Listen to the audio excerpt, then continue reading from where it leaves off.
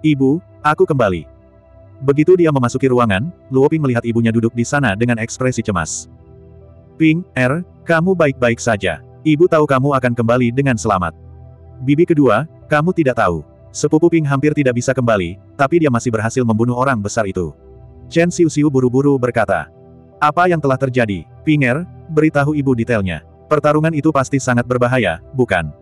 Luo Ping memelototi Chen Xiu Xiu, menyalahkannya karena terlalu banyak bicara. Lalu dia berkata, Ibu, tidak apa-apa. Saya baru saja terkena ledakan, bola api. Untungnya, saya memakai armor sutra ganda tersembunyi, dan menggunakan keterampilan gerakan saya untuk menghindari pusat ledakan. Setelah mengatakan ini, dia tersenyum dengan acuh tak acuh. Shenrong terdiam beberapa saat, lalu dia berkata, selama kamu baik-baik saja, tidak apa-apa. Saya yakin hal seperti ini akan lebih sering terjadi di masa depan. Ibu telah memikirkannya dengan matang dan akan selalu mendukungmu. Tapi kamu harus berjanji pada ibu bahwa apa pun yang terjadi, keselamatan adalah yang paling penting. Aku tahu, Bu. Bibi kedua, jangan khawatir. Aku akan melindungi sepupu Ping di masa depan. Aku tidak akan membiarkan nyawanya dalam bahaya. Chen Xiu Xiu menepuk dadanya, sepertinya hanya dialah yang bisa melakukannya. Ibu dan anak itu tersenyum, mengira dia hanya bercanda. Tak disangka, kalimat bercanda tersebut menjadi kenyataan di kemudian hari. Chen Xiu Xiu menyelamatkan Luo Ping di ambang kematian, tapi dia hampir membayar harganya dengan nyawanya. Pukul seperempat sore, turnamen tantangan pemerintah daerah, dimulai tepat waktu. Manajer Li naik ke panggung dan mengucapkan beberapa patah kata, lalu mengumumkan dimulainya turnamen. Semua orang mulai bertarung berpasangan sesuai nomor di batang bambu. Untuk sesaat, arena dipenuhi kilatan pedang dan bayangan pedang. Langit gelap dan bumi gelap. Kedua belah pihak menggunakan semua kekuatan mereka dan menggunakan keahlian khusus mereka. Tidak ada yang mau memberi jalan kepada yang lain, karena mereka tidak ingin melewatkan kesempatan sekali seumur hidup untuk menjadi terkenal. Dilihat dari jauh dari tribun penonton, tidak banyak kejutan dari pertarungan antar seniman bela diri. Bagaimanapun, seniman bela diri masih muda dan tidak memiliki niat membunuh. Seringkali, itu hanya pertukaran pukulan yang lambat. Mereka tidak berusaha untuk menang, melainkan tidak melakukan kesalahan. Mereka berharap bisa menemukan kelemahan lawan saat kebuntuan dan menyerangnya dengan satu serangan. Adapun tingkat prajurit bela diri tertinggi dan master bela diri, mereka jauh lebih menarik.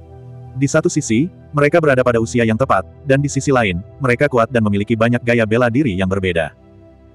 Dalam pertempuran tersebut, jumlah seni bela diri yang mereka perlihatkan sudah tak terhitung banyaknya. Seringkali, seseorang akan jatuh ke dalam perangkap musuh karena kecerobohannya dan menderita luka berat. Meski lukanya tidak fatal, mereka tidak dapat melanjutkan pertarungan. Tentu saja, pertarungan yang paling menarik perhatian adalah antara Martial Grandmasters.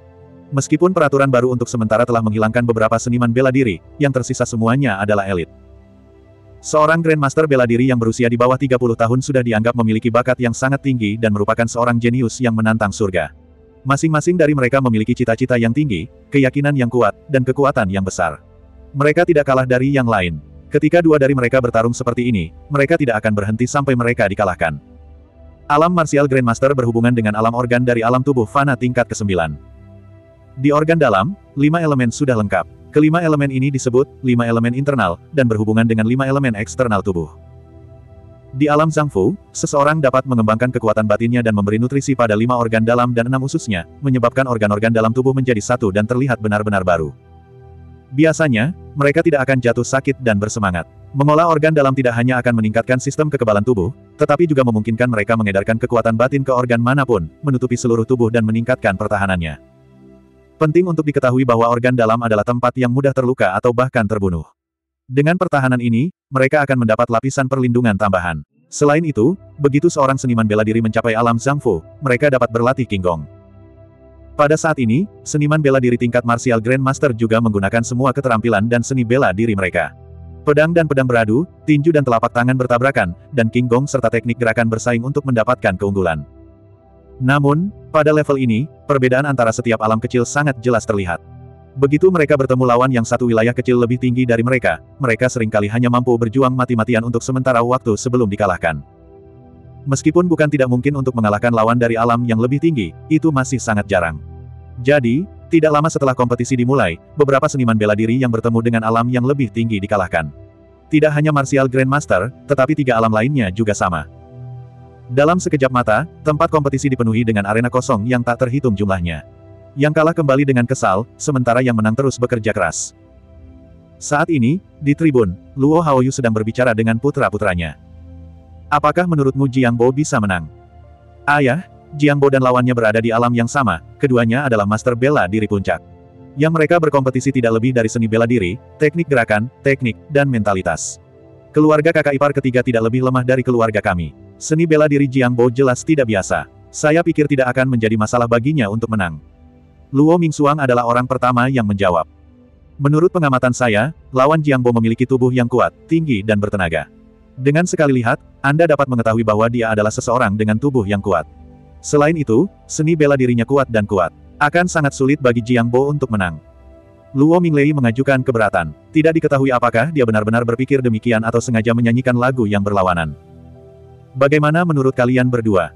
Luo Haoyu memandang Luo Mingzhen dan Chen Tili, yang terdiam, dan bertanya lagi. Saya pikir Jiang Bo memiliki peluang menang 50 per 50. Menantu laki-laki juga berpikir begitu. Kalian berdua, lupakan saja. Tidak ada yang mutlak. Meski saya optimis terhadap Jiang Bo, saya tidak bisa menjamin lawannya bukanlah orang biasa. Kita lihat saja.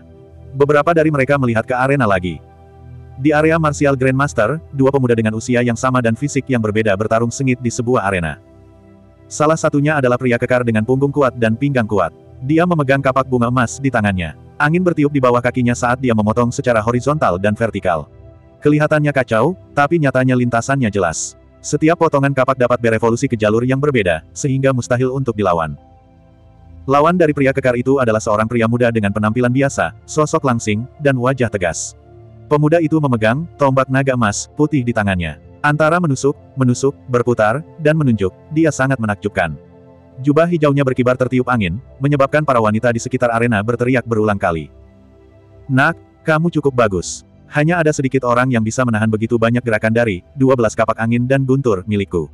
Namun, pada akhirnya, kamu tetap akan kalah. Aku menyarankan kamu untuk mengakui kekalahan sekarang, jadi untuk menghindari kapak yang tidak bermata dan secara tidak sengaja melukaimu.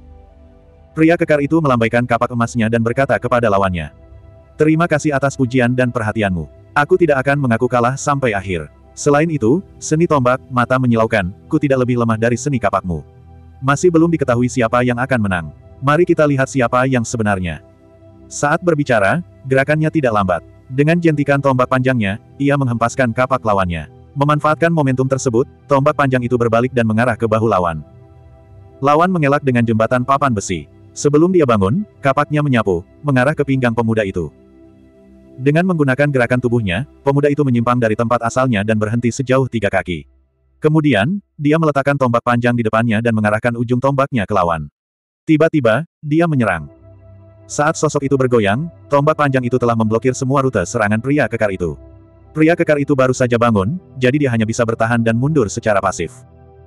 Dalam sekejap mata, dia telah mencapai tepi arena dan berhenti. Kapak besar itu menghadang tombak panjang itu, berayun maju mundur di depan dua orang itu. Ia sebenarnya menahan serangan pemuda itu untuk sementara waktu. Melihat hal tersebut, pemuda itu tidak panik. Sebaliknya, dia menekan tombak panjang itu ke bawah dan menekan kapaknya ke tanah. Kemudian, dia menopang tombak panjang itu dengan satu tangan, melompat, dan menendang lawan ke samping. Wajah lawannya sedikit berubah. Akhirnya, dia meninggalkan kapaknya dan melayang ke kiri. Lalu, dia berbalik dan kembali ke arena. Pemuda itu mendarat di tanah, mengangkat tombak panjang, dan memegang kapak di tangannya. Dia tersenyum pada lawannya dan berkata, sekarang senjatamu telah disita olehku, apakah kamu masih berpikir kamu bisa menang? Saya pikir Anda sebaiknya mengakui kekalahan terlebih dahulu. Hehe nak, jika kamu ingin aku mengaku kalah, kecuali kamu benar-benar memiliki kemampuan untuk mengalahkanku dan membuatku yakin, aku akan berjuang sampai akhir. Oke, kalau begitu, aku akan mengalahkanmu sampai kamu yakin. Ambillah. Dia melemparkan kapak besar itu kembali ke pria kekar itu dengan tangan kirinya. Pria kekar itu sedikit terkejut. Tanpa disadari, dia memiliki kesan yang baik terhadap pemuda tersebut. Saudaraku, kamu juga orang yang lugas. Kalau bukan karena kompetisi, menurutku kita bisa berteman dan minum bersama. Minumnya mudah. Setelah aku mengalahkanmu, kita akan pergi dan minum. Pemuda itu juga merasa pria kekar itu sangat berterus terang dan ingin berteman dengannya. Oke, sudah beres. Tidak peduli siapa yang menang atau kalah, setelah kompetisi, kita tidak akan kembali sampai kita mabuk. Hahaha, setelah pria kekar itu tertawa, dia mengangkat kapak emas besar itu lagi. Dua belas sumbu angin dan guntur, kapak ke-10, angin dan awan guntur. Dengan lambaian kapak, sinar cahaya terpancar, membentuk awan petir di sekitar kepala kapak. Suara berderak terdengar dari dalam awan petir, diikuti oleh hembusan angin kencang yang meningkatkan kekuatan kapak saat menyerang sisi lain. Pemuda itu juga mengayunkan tombak panjangnya dan menghadapi serangan itu. Teknik tombak, Chaotic Flower Blinding, bunga mengambang menutupi matamu. Dengan jentikan tombak panjang, dia terus memberi isyarat maju mundur di depannya.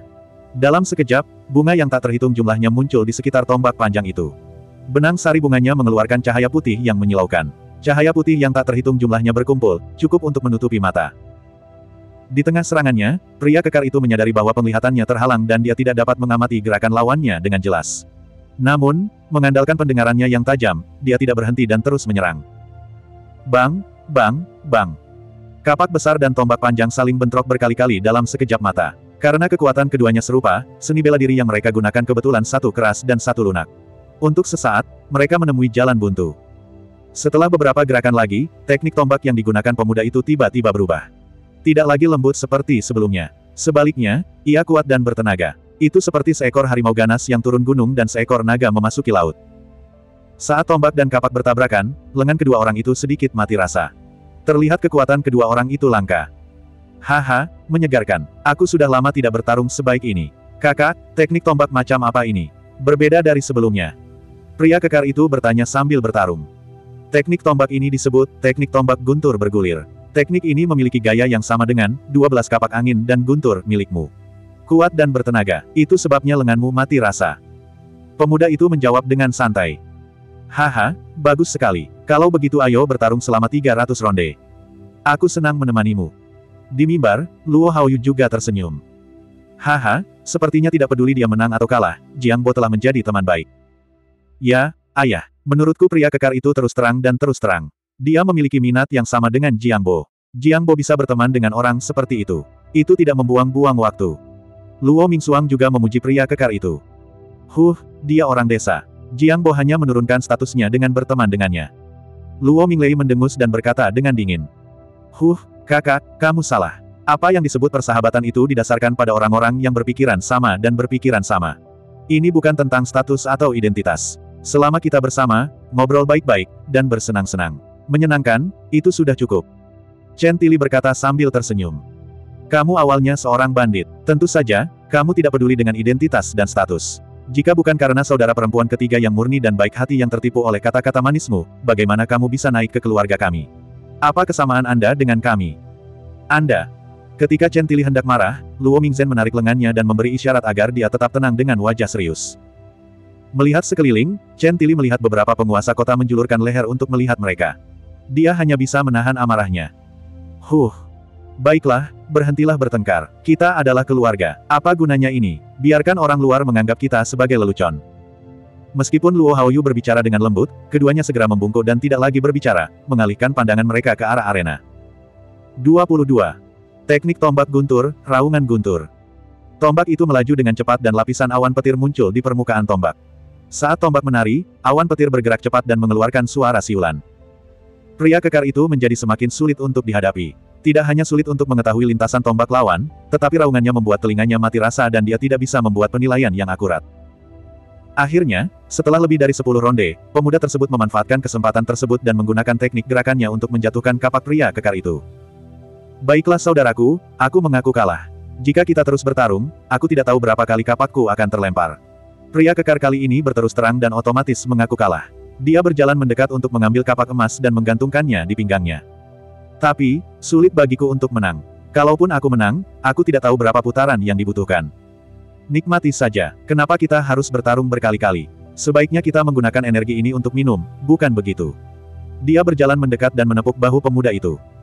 Tentu saja, bagaimana aku harus memanggilmu? Pemuda itu bertanya. Namaku Cheng Tihu. Aku baru berusia 20 tahun. Bagaimana denganmu? Pria kekar itu merangkul bahu pemuda itu dan berjalan menuruni ring. Saya Zhao Jiangbo. Umur saya 19 tahun. Bagaimana kalau kita saling memanggil saudara di masa depan? Pemuda itu menyarankan dengan gembira. Tentu saja, kita akan menjadi saudara di masa depan.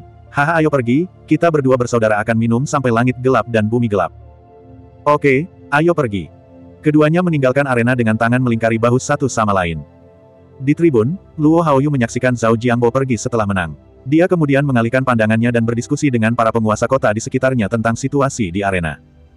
Langit berangsur-angsur menjadi gelap dan lentera menyala. Meski malam melahap dunia bagaikan iblis, namun tak mampu menghentikan kemeriahan para pesaing.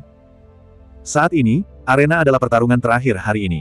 Semua ahli bela diri masih berusaha semaksimal mungkin untuk mengincar buah kemenangan. Markis Kabupaten tidak menyangka bahwa tidak ada pemuda keluarga Luo yang berkompetisi hari ini. Sepertinya besok adalah waktu mereka untuk bersinar. Setelah kompetisi hari ini berakhir, manajer Li naik ke atas panggung dan mengumumkan dengan lantang, kompetisi hari ini telah berakhir. Pemenang dapat melakukan pengundian lagi setelah babak penyisihan, berkumpul kembali ke dalam grup, dan melanjutkan ke semifinal hingga 20 orang terakhir dari setiap grup akan berpartisipasi dalam turnamen Harimau Naga. Saya berharap semua orang bisa melakukan yang terbaik dan mendapatkan apa yang mereka inginkan. Dapatkan hasil yang baik di turnamen Dragon Tiger dan bahkan Champion Battle. Baiklah, semuanya bisa kembali sekarang. Dibubarkan. Semua orang pergi satu demi satu, hanya menyisakan arena kosong untuk membicarakan pertempuran yang telah terjadi.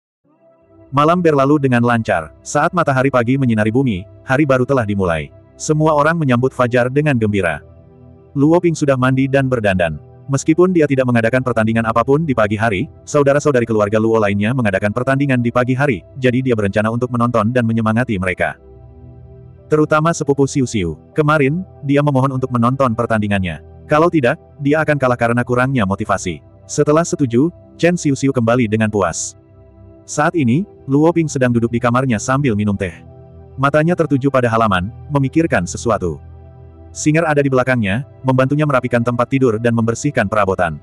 Setelah selesai, dia melihat tuan mudanya sedang memikirkan banyak hal. Dia berjalan ringan ke sisi Luo Ping. Tuan muda, Anda khawatir tentang kompetisi Luo dari Siu Siu, kan? Luo Ping kembali sadar, dia menyesap teh dan menoleh ke arahnya. Itu benar, Luo dari Siu Siu mungkin ceria dan naif, tapi dia baik hati dan tidak tahu banyak tentang dunia. Dia juga tidak memiliki banyak pengalaman dalam bertarung. Saya khawatir dia akan kehilangan pijakan dalam kompetisi dan menunjukkan banyak kekurangan. Tuan muda, mengapa Anda harus berpikir seperti itu? Tidak peduli apakah Nonagu menang atau kalah dalam kompetisi ini, pelayan ini percaya bahwa dia akan mendapatkan sesuatu darinya. Anda seharusnya senang karena dia bisa mempelajari teknik bertarung dan urusan manusia dari kompetisi. Singer berkata sambil tersenyum. Mendengar ini, Luo Ping sedikit terkejut. Setelah hening beberapa saat, dia akhirnya menunjukkan senyuman. Kak Singer, sepertinya aku terlalu banyak berpikir. Terima kasih atas saranmu. Yah, tidak ada lagi yang bisa dilakukan di sini. Anda bisa melakukan urusan Anda sendiri. Ya, aku akan pergi dulu. Setelah berbicara, dia berbalik dan pergi. Melihat punggung Singer, Luo Ping dengan serius meninggalkan ruangan dan langsung menuju tempat kompetisi. Sama seperti kemarin, tempat kompetisi dipadati orang. Para pembudidaya peserta kompetisi telah tiba di lokasi lebih awal. Beberapa tampak acuh tak acuh dan tanpa ekspresi. Terlihat jelas bahwa mereka penuh percaya diri. Ada juga yang wajahnya sedikit berkerut dan terlihat gugup. Tampaknya mereka tidak terlalu percaya diri. Luo Ping baru saja berjalan beberapa langkah ke tempat kompetisi ketika dia mendengar teriakan Chen Xiu Xiu. Luo sepupu Ping, aku di sini, di sini, di sini. Melihat ke arah suara itu, Chen Xiu Xiu melambaikan tangannya dan melambai padanya. Dia tidak tahu bahwa dia telah menarik perhatian banyak orang. Sambil menggelengkan kepalanya sambil tersenyum, Luo Ping berjalan ke arahnya. Saudara Yuntian, kalian semua di sini. Apakah kompetisi kalian besok pagi? Ternyata para pemuda keluarga Luo berkumpul di sini. Luo sepupu Ping, aku di sini untuk menyemangati mereka. Kompetisiku besok. Pada saat ini, Chen Xiu Xiu menarik lengan Luo Ping dan mengguncangnya. Ya, Luo dari sepupu Ping, kamu harus mendukung kami. Saya yakin kami pasti akan menang. Merasakan lengannya terus-menerus bergesekan dengan dada lembut Chen Xiu Xiu, Luo Ping tanpa sadar tersipu. Dia hanya bisa menjawab dengan lembut, tentu, tentu saja. Selain mereka bertiga, ada delapan orang lainnya yang hadir. Luo Yunfei dan Luo Yunyu tentu saja tidak hilang. Salah satunya 50 hingga 60 persen mirip dengan Zhao Jiangbo. Itu adalah adik laki-lakinya, Zhao Jiangtao. Namun, kepribadian kedua bersaudara itu sangat berbeda. Kakak laki-lakinya berani dan tidak terkendali, sedangkan adik laki-lakinya tenang dan pendiam. Masing-masing memiliki kelebihannya masing-masing. Dua lainnya adalah kakak laki-laki tertua dan ketiga Chen Xiu Xiu. Mereka dipanggil Chen Tong dan Chen Da. Karena mereka hanya tahu cara berlatih bela diri dan tidak dapat dipisahkan sepanjang hari, para pemuda di sekitarnya memberi mereka gelar, duo luar biasa Tong Da, berdasarkan nama saudara-saudaranya. Mereka juga cukup terkenal. Dua yang terakhir kira-kira seusia dengan Luo Ping. Mereka adalah anak-anak Luo Mingzhen. Pemuda itu bernama Luo Yunfeng. Pada usia 12 tahun, dia sudah berada di puncak ranah prajurit bela diri tertinggi. Kecepatan kultivasinya sebanding dengan Luo Yunjue. Gadis muda itu bernama Luo Ying. Dia adalah yang termuda dan baru berada pada tahap awal dari ranah prajurit bela diri tertinggi. Sebelas kerabat berkumpul, mengobrol dan tertawa jenaka. Ngomong-ngomong, Luo dari sepupu Ping, ku dengar kamu melumpuhkan Sang Jukai dan membunuh Sang Juyin. Ayahnya ingin kamu membayar dengan nyawamu. Setelah mengobrol sebentar, Zhao Jiangtao tiba-tiba bertanya. Benar, orang tua itu terlalu tidak masuk akal. Putranya melakukan segala macam kejahatan dan dibunuh oleh sepupu Ping karena kurangnya keterampilan. Dia masih berani mengatakan itu hidup untuk hidup. Menurutku, dia harus digantung dan dipukuli. Sebelum Luo Ping dapat menjawab, Chen Xiu berbicara terlebih dahulu. Luo Ping menunggunya selesai berbicara sebelum berkata, Luo Ping yakinlah, sepupu Jiang Tao. Dia tidak bisa melakukan apa pun padaku. Aku akan berhati-hati. Itu bagus. Jika ada masalah, katakan saja padaku. Pasukan, Go Xiao, ayahku sedang bersiaga. Zhao Jiangtao menepuk dadanya. Saat ayahnya disebut-sebut, rasa bangga pun spontan muncul. Ya Tuhan, sepupu Jiangtao, kamu ingin memusnahkan keluarga sang sepenuhnya. Siapa yang tidak tahu bahwa Legiun, Xiao, paman ketiga berspesialisasi dalam pembunuhan, pembunuhan, dan serangan mendadak. Dalam hal teror, itu bahkan di atas, Legiun Naga, di ibu kota. Menurutku itu tidak perlu. Chen Tong tercengang. Aku hanya menyebutkannya saja, lebih baik jika tidak perlu. Jika keluarga Zhang tidak memiliki mata, tidak ada salahnya menggunakannya. Terima kasih sepupu Jiang Tao atas niat baik Anda. Saya harap keluarga Zhang tidak berterima kasih. Baiklah, kompetisi akan segera dimulai. Setiap orang harus bersiap-siap.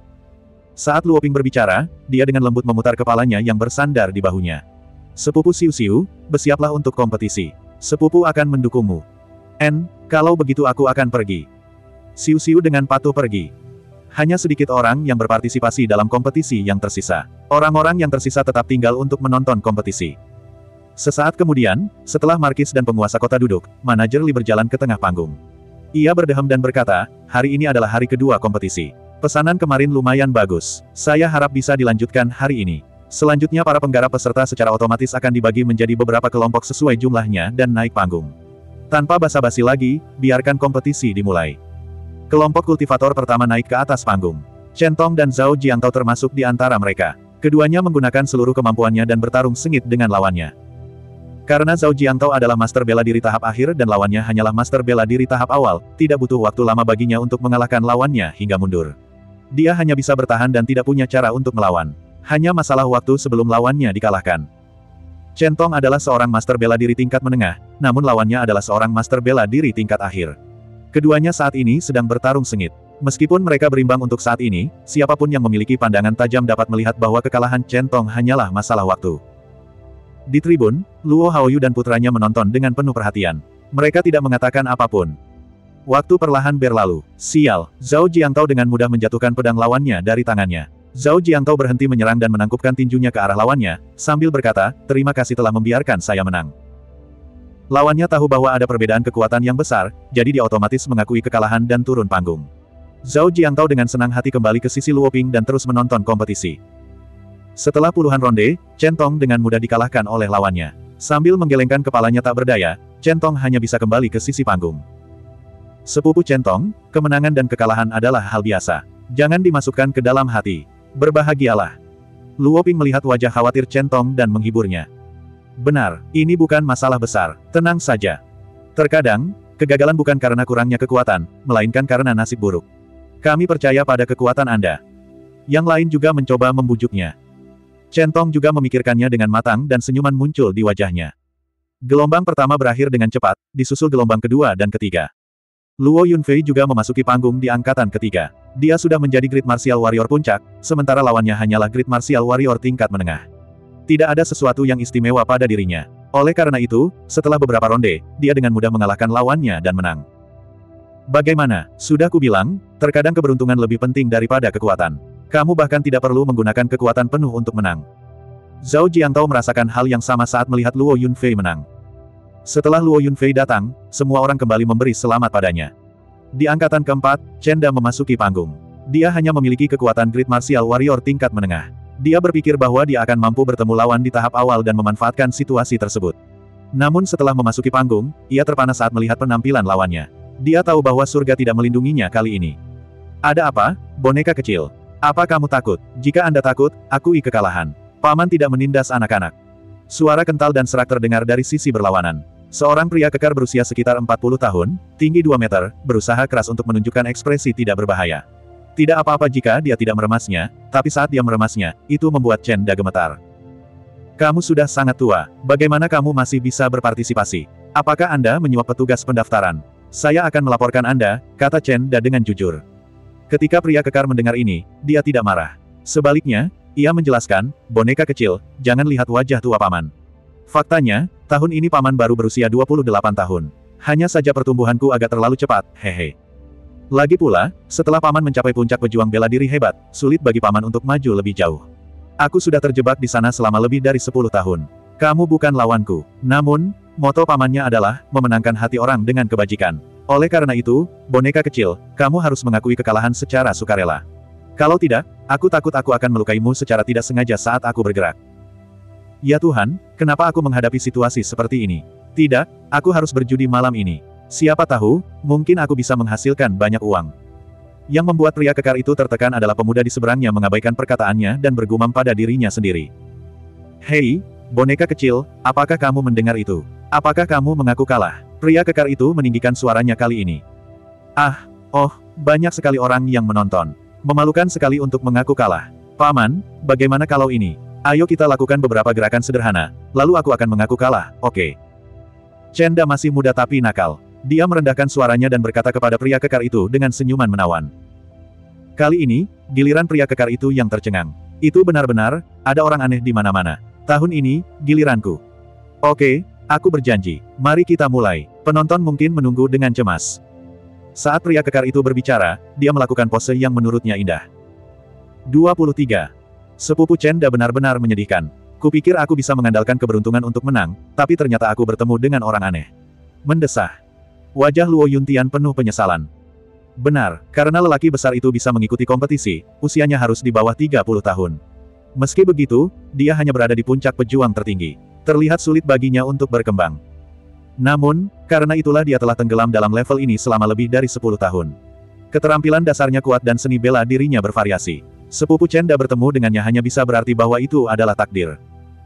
Zhao Jiangtao juga merasa sangat disayangkan. Karena ada perbedaan besar dalam kekuatan, mengapa sepupu Chen Da masih berani bertarung dengan pria besar itu? Luo Yunyu mengajukan pertanyaan itu di dalam hatinya. Luo Ping menjawab sambil tersenyum tipis, menurut pendapatku, sepupu Chen Da pasti telah meyakinkan pria kekar itu. Mereka berdua hanya berpura-pura bersaing. Lihat, serangan mereka tidak memiliki kekuatan membunuh. Terlebih lagi, pria kekar itu sedang menahan diri. Ini jelas sebuah pertunjukan. Bertindak. Kenapa? Luo Yunyu masih tidak mengerti. Tak perlu dikatakan lagi, saudara ketiga pasti terlalu malu untuk mengaku kalah, jadi dia membujuk orang besar itu untuk bertindak. Chen Tong tampak seperti mengenal kakaknya seperti punggung tangannya. Kalau begitu, karakter pria besar ini lumayan. Ia bahkan menyetujui syarat tersebut. Tampaknya keberuntungan sepupu Chen Da tidak terlalu buruk. Luo Yunyu menutup mulutnya dan tersenyum. Anak kecil, ini sudah waktunya.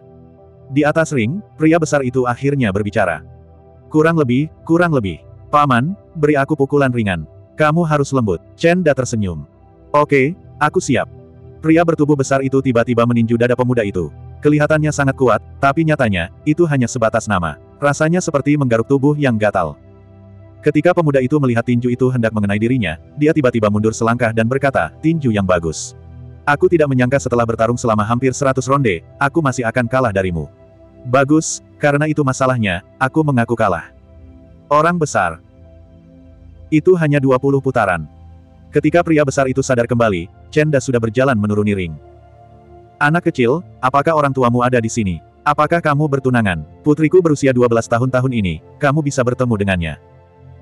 Pria bertubuh besar itu merasa bahwa anak laki-laki di hadapannya itu pintar dan memiliki masa depan yang baik, sehingga ia tidak sabar untuk segera melamarnya. Ketika Chenda mendengar ini, dia sangat ketakutan sehingga dia bahkan tidak menoleh ke belakang dan segera berlari. Terlalu menakutkan. Jika kamu terlihat seperti ini, lalu bagaimana dengan putrimu? Dia tidak berani memikirkannya, dia tidak berani memikirkannya. Ayo lari saja. Eh, kakak ketiga, kenapa kamu lari? Chen Tong bertanya dengan keras ketika dia melihat Chenda tidak berhenti berlari melewati mereka. Kakak, seseorang sedang mencariku. Katakan padanya bahwa aku tidak ada di sini. Tidak, katakan padanya bahwa aku hilang. Tidak, katakan padanya bahwa aku menginjak kotoran kuda dan mati. Setelah mengatakan itu, dia lari tanpa menoleh ke belakang. Tuan muda dan nyonya muda, apakah Anda mengenali anak kecil itu? Pria kekar itu bertanya dengan senyum lebar di wajahnya. Aku, aku, aku tidak mengenalnya. Anda sedang mencari dia, untuk sesuatu. Chen Tong tidak pandai berbohong dan tergagap. Anak kecil itu sangat sesuai dengan seleraku. Aku berencana menjodohkan putriku dengannya, tapi siapa sangka begitu aku buka mulut, dia akan kabur. Pria besar itu menggaruk kepalanya dengan bingung.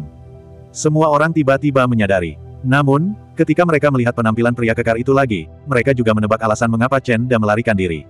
Namun, mereka tidak mau mengatakannya secara lantang. Melihat bahwa dia tidak mendapatkan jawaban dari mereka, pria kekar itu mengucapkan selamat tinggal dan pergi. Semua orang juga kembali memperhatikan kompetisi.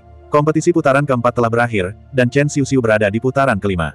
Meski tidak kekurangan perempuan di arena, namun jumlahnya tidak banyak, hanya sekitar 20%.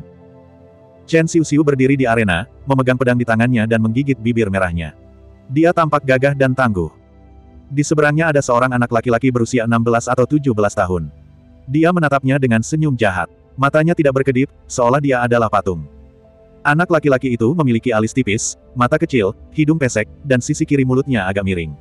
Sepasang mata kecil memancarkan cahaya dingin yang penuh nafsu. Hei, apakah kamu sudah cukup melihatnya? Chen Xiu merasa sedikit tidak nyaman dipandangi. Dia mengarahkan pedangnya ke tanah dan bertanya dengan keras. Anak laki-laki di seberangnya terkejut saat mendengar itu.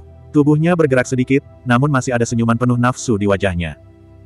Adik, aku tidak menyangka kamu begitu cantik dan menawan. Apalagi tubuhmu pas. Kamu memiliki lekuk tubuh di bagian depan dan belakang. Kamu langsing dan anggun. Kakak sangat menyukaimu. Bagaimana kalau begini, kamu mengaku kalah sekarang dan pulang bersamaku untuk menjadi istriku. Bah, tidak tahu malu dan vulgar. Kenapa kamu tidak bercermin? Dari mana kamu mendapatkan keberanian? Chen Xiu bukanlah orang yang akan menderita kerugian. Bagaimana dia bisa membiarkan laki-laki di seberangnya menggodanya? Hahaha, adikku, tahukah kamu berapa banyak gadis yang berjuang untuk menjadi orang pertama yang menikah denganku, tapi aku tidak menyukai mereka. Sekarang aku menyukaimu, itu suatu kehormatan bagimu. Setelah kamu bersamaku, kamu akan tahu bahwa aku adalah pria terbaik di dunia. Hahaha. Cek, Pria terbaik, sepupu Ping seribu kali, sepuluh ribu kali lebih baik darimu. Chen Xiu tidak melihatnya setelah dia selesai berbicara. Dia terlalu malas untuk berbicara dengannya. Sepupu Ping, sepertinya kamu punya kekasih. Kalau begitu aku minta maaf. Saya punya kebiasaan sejak saya masih muda. Jika saya tidak bisa mendapatkan sesuatu, saya akan menghancurkannya dengan tangan saya sendiri. Wajah anak laki-laki itu tiba-tiba menjadi garang dan menakutkan. Dia segera mencabut pedang panjang di punggungnya. Sosoknya melintas dan bergegas mendekat. Kecepatannya sangat cepat hingga membuat orang terdiam. Chen Xiu tidak menyangka pihak lain akan menyerang begitu tiba-tiba. Dia tidak punya waktu untuk menghindar. Dia hanya bisa memblokir dengan pedangnya.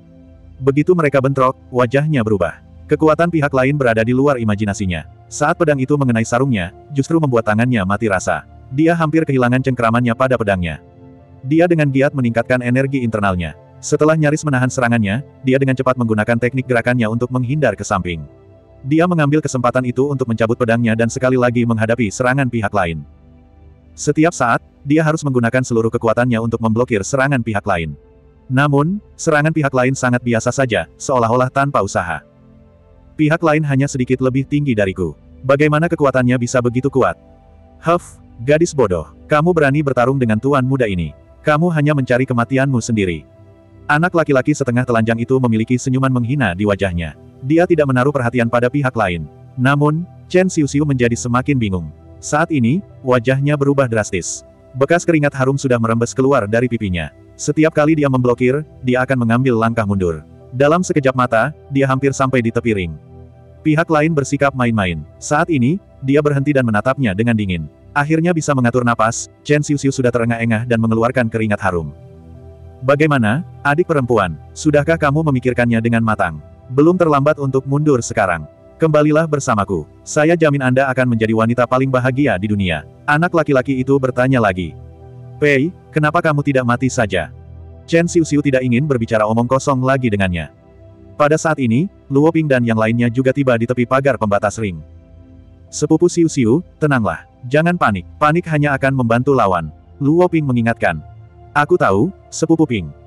Chen Xiu Xiu akhirnya mengungkapkan senyuman. Rasanya seperti seratus bunga bermekaran, seperti bidadari yang turun. Melihat ini, anak laki-laki di seberang dengan dingin mendengus dan melihat ke arah orang di bawah ring. Bibir merah, gigi putih, alis seperti pedang, mata berbintang, dan wajah seperti batu giok, tampan dan percaya diri. Kemarahan muncul di hatinya tanpa alasan. Dia mengencangkan cengkeramannya pada pedang panjang di tangannya dan menyerang lagi. Teknik pedang kekuatan ketuhanan sembilan kali lipat, kekuatan ketuhanan ganda. Bocah setengah telanjang itu meningkatkan transmisi trukinya lagi. Tiba-tiba, dua cahaya putih yang saling terkait muncul di permukaan pedang. Mereka terjalin satu sama lain dan berenang berkeliling. Kali ini, kekuatan pedangnya meningkat 20%. Wajah anak laki-laki setengah telanjang itu menunjukkan senyuman yang sinis dan menghina. Ketika Chen Xiu melihat perubahan gerakan lawannya, serta peningkatan kekuatan dan tenaga, dia segera menjadi berhati-hati dan tidak berani gegabah. Dia juga menampilkan teknik pedangnya yang terkuat. Teknik pedang Feng Yi, lingkaran sayap Phoenix, bulu memenuhi langit dan menghancurkan debu. Level Chen Xiu saat ini masih belum mampu memancarkan truki, jadi gerakan yang dia tunjukkan hanya memiliki bentuk, tapi tidak memiliki makna. Pedang itu menari dengan cepat, bergegas dan berputar. Itu aneh dan rumit, membuat lawan tidak bisa melihat jalur teknik pedang. Terlebih lagi, pedang tersebut memiliki kekuatan lembut yang dapat mengimbangi sebagian kekuatan lawan. Dentang. Ketika kedua pedang itu bersentuhan satu sama lain, Chen Xiuxiu masih merasakan lengannya mati rasa. Dia segera menggerakkan pedangnya dan mengarahkan pedang lawannya sepanjang jalurnya, menghindari dampak langsung dari kekuatan tabrakan. Bocah setengah telanjang itu sedikit terkejut. Karena teknik pedangnya terutama mengembangkan truki, setiap gerakan yang dia tunjukkan akan melepaskan truki dalam jumlah tak terbatas. Selain itu, kekuatan setiap gerakan akan jauh lebih tinggi dari gerakan sebelumnya. Biasanya orang yang bertarung dengannya tidak akan bisa bertahan lama. Mereka akan kelelahan dan lengan mereka lemas. Saat ini, mereka akan berada di bawah kekuasaannya.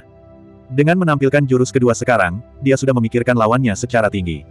Bagaimanapun, kekuatan seorang wanita pada awalnya lemah. Dia tidak menyangka teknik pedang lawannya akan menjadi jalan yang sangat lembut. Menggunakan kelembutan untuk mengatasi kekuatan, itu sepenuhnya mengimbangi sebagian besar kekuatannya, jadi dia tidak menerima kerusakan apa pun. Pikiran anak laki-laki itu berpacu, dan dia tidak bisa menahan diri untuk tidak meningkatkan kekuatannya. Saat kedua pedang itu bertabrakan, percikan api sudah berterbangan ke segala arah. Cahaya dan bayangan melintas dengan cepat. Bagaimanapun, Chen Xiu adalah seorang wanita. Dari segi kekuatan, dia awalnya kalah dari seorang pria. Setelah pertarungan sengit, kekuatan fisiknya sudah kurang dari 30%. Sepupu Xiu kamu tidak bisa mengalahkannya. Sebaiknya kamu mengaku kalah. Kalau tidak, kamu akan terluka. Luo Ping berkata dengan cemas di bawah panggung. Dia tidak ingin melihat Chen Xiu terluka parah karena dia terlalu mementingkan menang atau kalah. Saat ini, Chen Xiuxiu sudah tidak memiliki kekuatan dan waktu ekstra untuk membalasnya. Namun, dia tidak berniat berhenti. Huh, meski kamu menolak, kamu tidak bisa mengubah fakta bahwa kamu dikalahkan. Bocah setengah telanjang itu membuka mulutnya lagi. Dengan senyuman garang, dia mengerahkan gerakan tubuhnya hingga batasnya. Dalam situasi di mana Chen Xiuxiu tidak dapat bereaksi, dia datang ke belakangnya dan hendak menusuk jantungnya dari belakang dengan pedangnya. Ketika Chen Xiuxiu melihat lawannya menghilang di depan matanya, dia tahu itu tidak baik. Dia segera menggunakan gerakan tubuh asap mengambang untuk menghindar ke kiri. Dengan suara, Ci, luka dalam terjadi di lengan kanannya. Darah tiba-tiba menyembur keluar dan mewarnai separuh pakaiannya menjadi merah. Kemudian, itu mengalir ke lengan gantungnya, mengalir ke pedang, menetes ke atas panggung, dan juga menetes ke jantung Luoping. Sepupu Siu Siu, cepat akui kekalahan. Patuhlah. Luoping dengan lembut membujuk.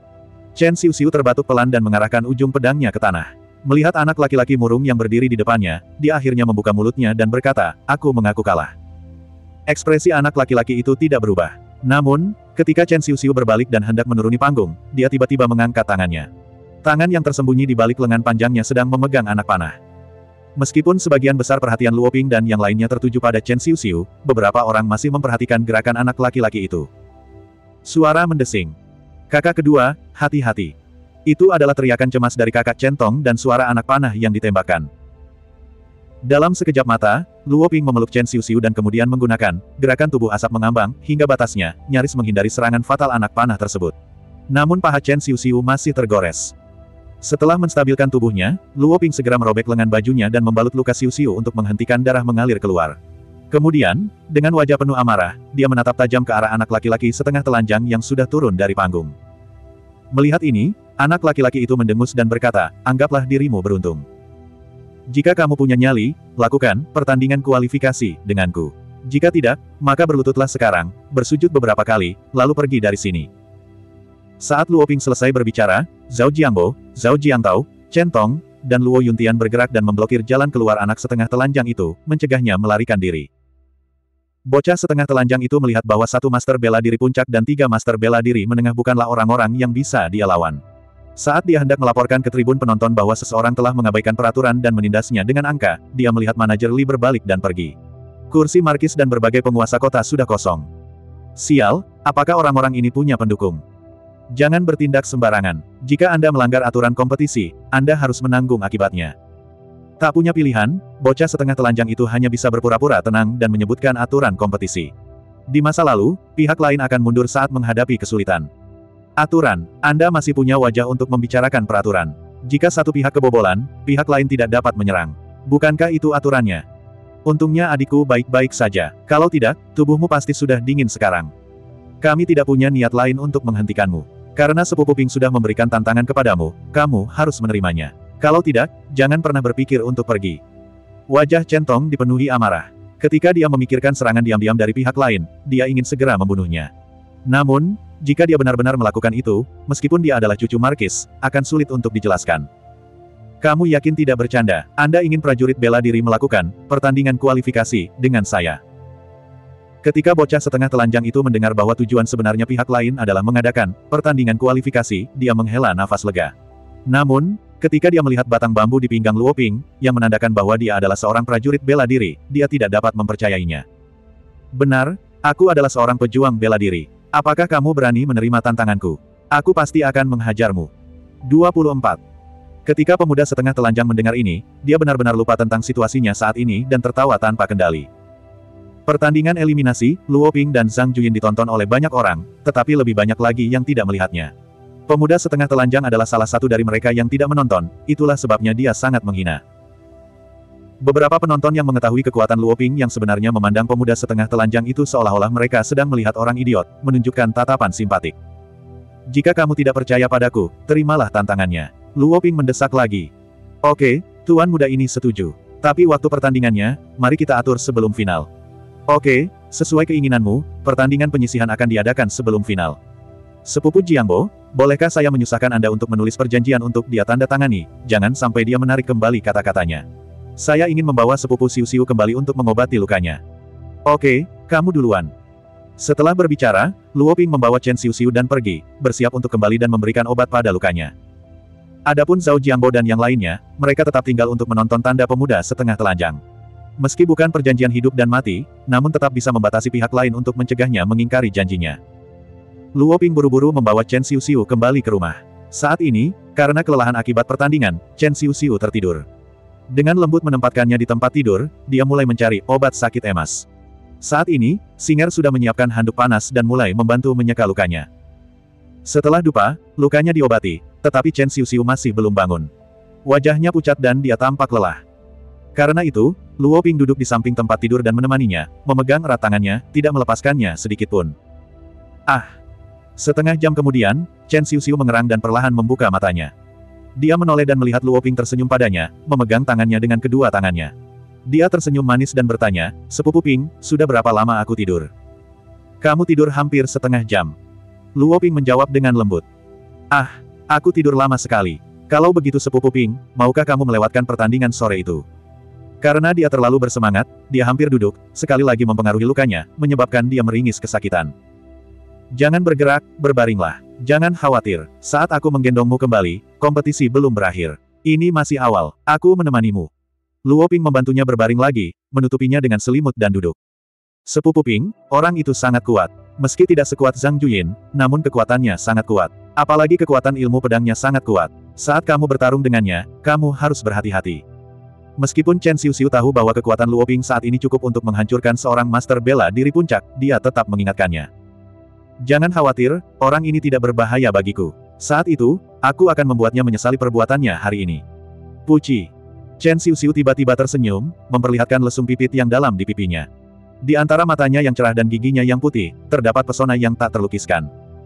Apa yang salah? Apa yang lucu? Menurutku kamu cukup manis jika kamu serius dan lembut. Hehe, terima kasih atas pujiannya. Baiklah, sepupu Siu Siu, istirahatlah yang baik. Aku akan pergi ke kompetisi. Aku akan datang dan menemuimu setelah kompetisi. Semoga berhasil, sepupu Ping. Saya harap Anda menang dan kembali dengan penuh kemenangan. Aduh. Saat dia berbicara, dia mengulurkan tangannya untuk menyemangatinya, hanya untuk merasakan sakit yang menusuk. Baiklah, hati-hati. Aku pergi. Setelah berbicara, dia berbalik dan meninggalkan ruangan. Melihat sosok yang pergi, Chen Xiu Xiu tersenyum manis. Kemudian, dia menatap tirai di tempat tidur tanpa berkedip. Tidak ada yang tahu apa yang dia pikirkan. Awalnya, Luo Ping adalah angkatan keempat yang bertarung di sore hari. Jika bukan karena peraturan kompetisi yang mengharuskan seluruh peserta berkumpul di area yang ditentukan, dia akan menemani sepupunya lebih lama. Kini, dia hanya bisa pergi ke tempat berkumpul dulu. Sesampainya di arena, Luo Yuntian dan yang lainnya bertanya tentang situasi Chen Xiu Xiu saat ini. Setelah mengetahui bahwa dia baik-baik saja, mereka mengobrol dan menunggu kompetisi dimulai. Pukul satu siang, kompetisi resmi dimulai. Luo Ping tersenyum dan berjalan menuju arena. Saat ini, sudah ada seorang pria galak berdiri di sana. Dia memiliki dahi lebar dan wajah persegi dengan alis tebal dan mata bulat. Wajahnya tegas dan dia tinggi serta kuat. Tubuh bagian atasnya telanjang, memperlihatkan otot-ototnya yang meledak-ledak. Tangan Mengnan kosong dan dia tidak memiliki senjata apa pun. Dia berdiri di sana dengan tenang seperti gunung yang megah. Melihat Luoping berdiri diam, pria galak itu menangkupkan tinjunya dan berkata dengan keras, namaku Gengsi. Aku tinggal di pedesaan. Karena keluargaku tidak memiliki panduan rahasia seni bela diri untuk aku latih, aku hanya bisa berlatih tubuhku sejak muda. Aku berlatih teknik tinju, tinju macan hitam, yang bahkan diketahui oleh anak berusia tiga tahun. Saat aku bertarung, aku tidak menggunakan senjata apa pun. Tinjuku tidak terkalahkan. Pria galak itu memandang Luoping lagi dan melanjutkan, saya melihat tubuh Anda kurus dan lemah. Saya rasa Anda tidak dapat menerima lebih dari beberapa tinju saya. Anda harus mengaku kalah. Meskipun tubuh Luoping sudah sangat kuat, dia tidak memiliki tubuh yang berotot. Dibandingkan pria galak di depannya, dia memang cukup lemah. Merasakan ketulusan dalam nada suara pria galak itu, Luo Ping tersenyum dan berkata, terima kasih saudara geng. Meski tubuhku tidak bisa dibandingkan dengan saudara geng, aku tetap berharap bisa bertarung secara nyata. Saat dia berbicara, dia melemparkan pedang ke belakangnya ke tepi arena. Pedang kelas satu dari sebelumnya hancur dalam pertarungan dengan Zhang Juyin. Pedang ini diberikan oleh ayahnya. Itu juga merupakan senjata kelas satu. Pria galak itu sedikit terkejut. Saudara Luo, kamu ingin melawanku tanpa senjata. Anda akan dirugikan. Bagaimana kalau begini, aku hanya akan menggunakan satu tangan dan satu kepalan saja. Saat dia berbicara, dia meletakkan tangan kirinya di belakang punggungnya. Luo Ping memandang pria galak itu dan tersenyum tak berdaya. Pantas saja dia dipanggil gengsi. Mengetahui bahwa dia tidak bisa mengubah pikiran lawannya, dia tidak mengatakan apa pun lagi. Saudara geng, ayo kita mulai. Begitu dia berbicara, keduanya bergerak pada saat bersamaan. Melihat lawannya menggunakan teknik tinju, Luo Ping juga menggunakan Divine Ape Fist. Dalam sekejap mata, dua kepalan tangan, satu besar dan satu kecil, bertabrakan. Dengan peng, keduanya berpisah dan mundur dua langkah. Wajah mereka dipenuhi keterkejutan. Bagi pria galak, meskipun dia hanya berlatih tinju macan hitam, yang paling dasar, dia telah berlatih selama lebih dari 10 tahun dan sudah berada di puncak kesempurnaan.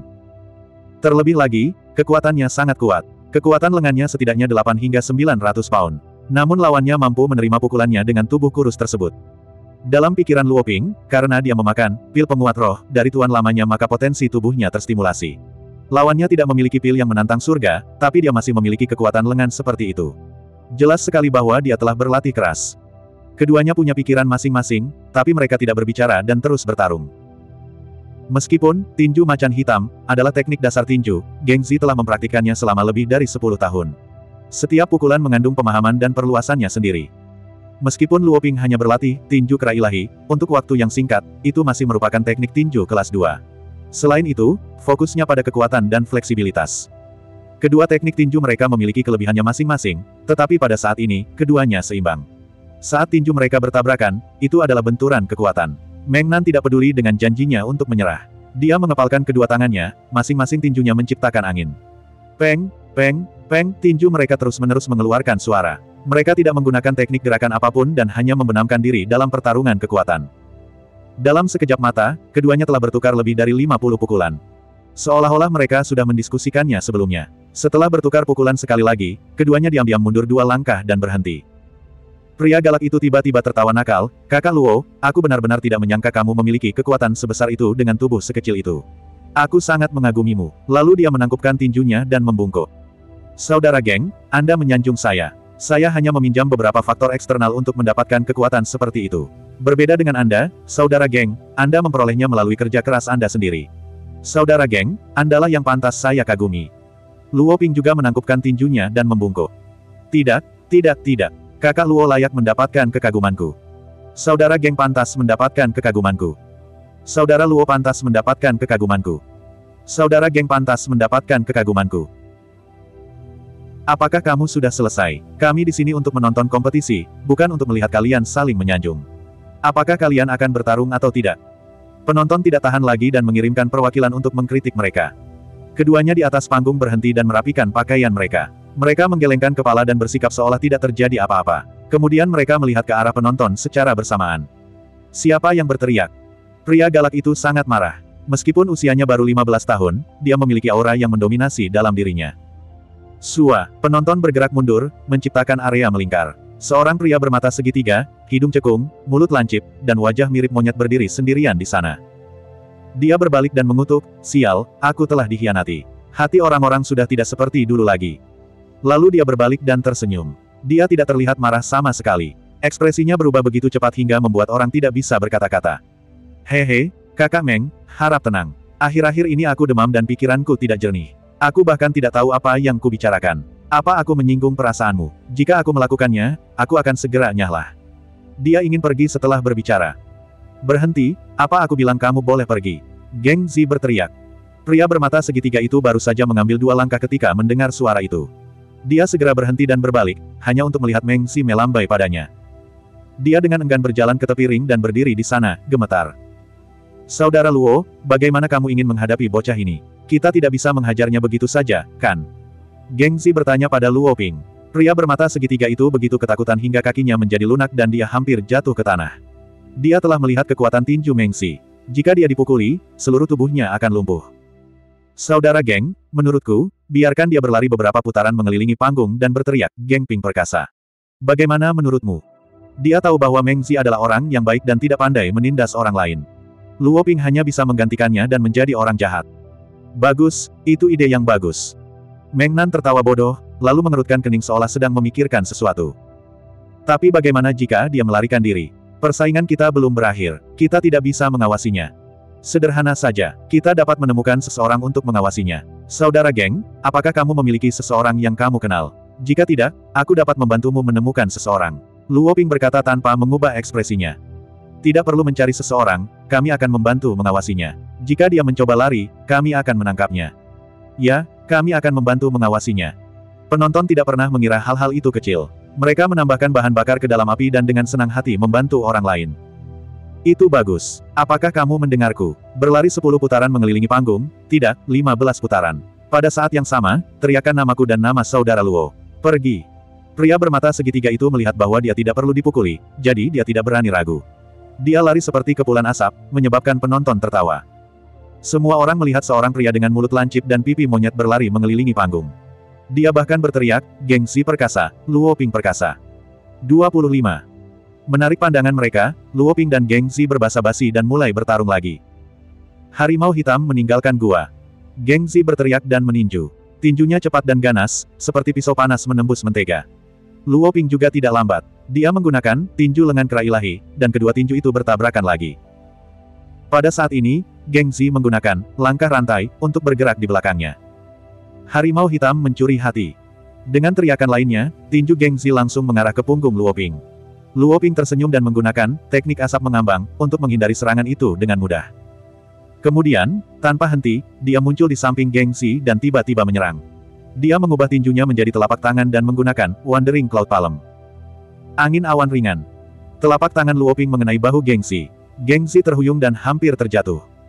Gengsi tidak mengerti. Kekuatan mereka hampir sama. Bagaimana dia bisa kehilangan keseimbangan setelah terkena telapak tangan? Faktanya, jurus Light Cloud Breeze, terutama menggunakan telapak tangan untuk menyerang musuh. Ia menggunakan cara yang lembut dan lembut untuk mengalahkan yang keras.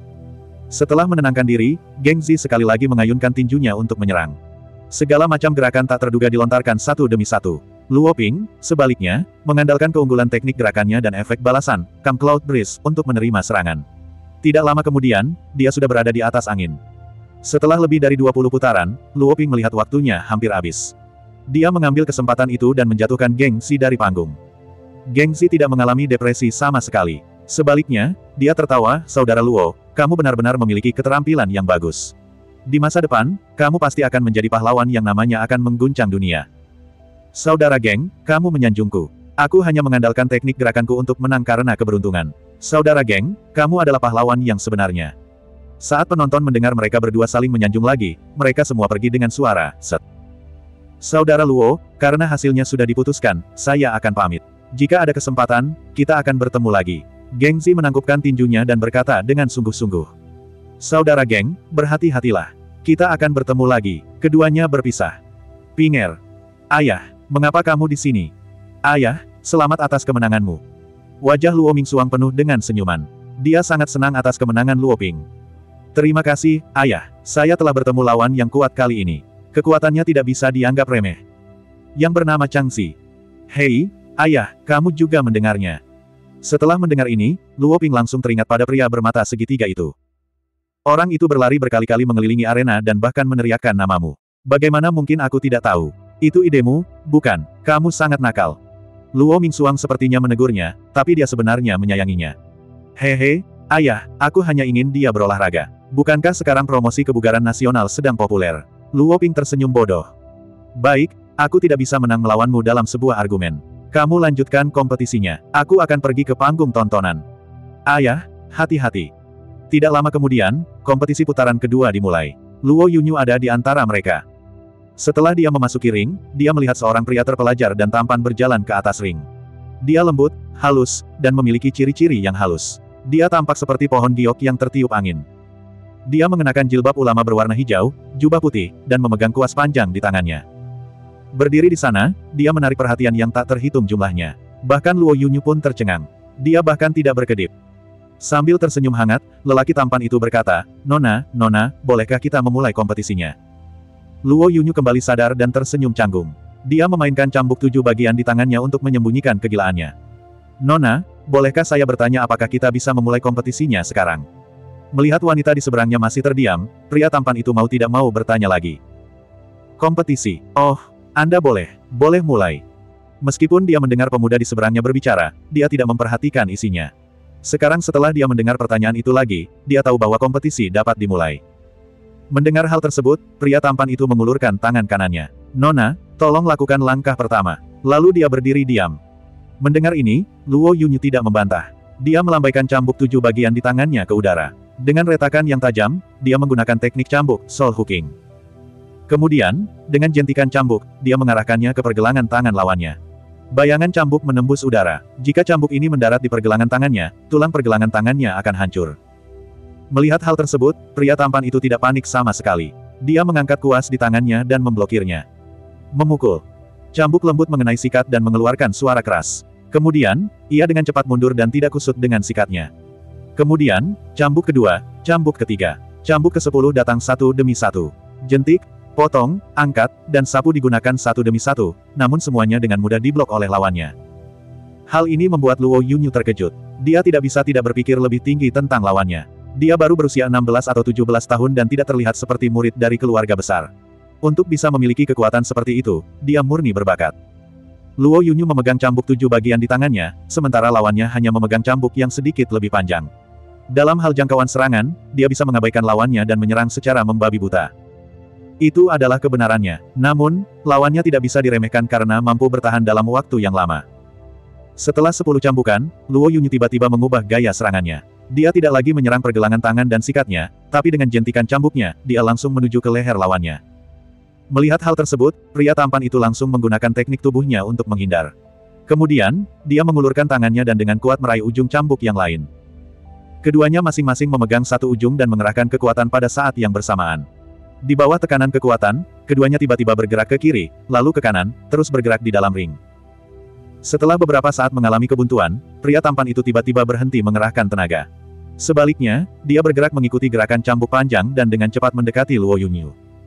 Sesaat, dia sudah berada tepat di depannya. Melihat wajah tampan di depannya, Luo Yunyu sebenarnya mundur dengan malu-malu. Sayangnya, dia melakukan kesalahan. Kakinya terpelintir dan dia akan terjatuh telentang di atas ring.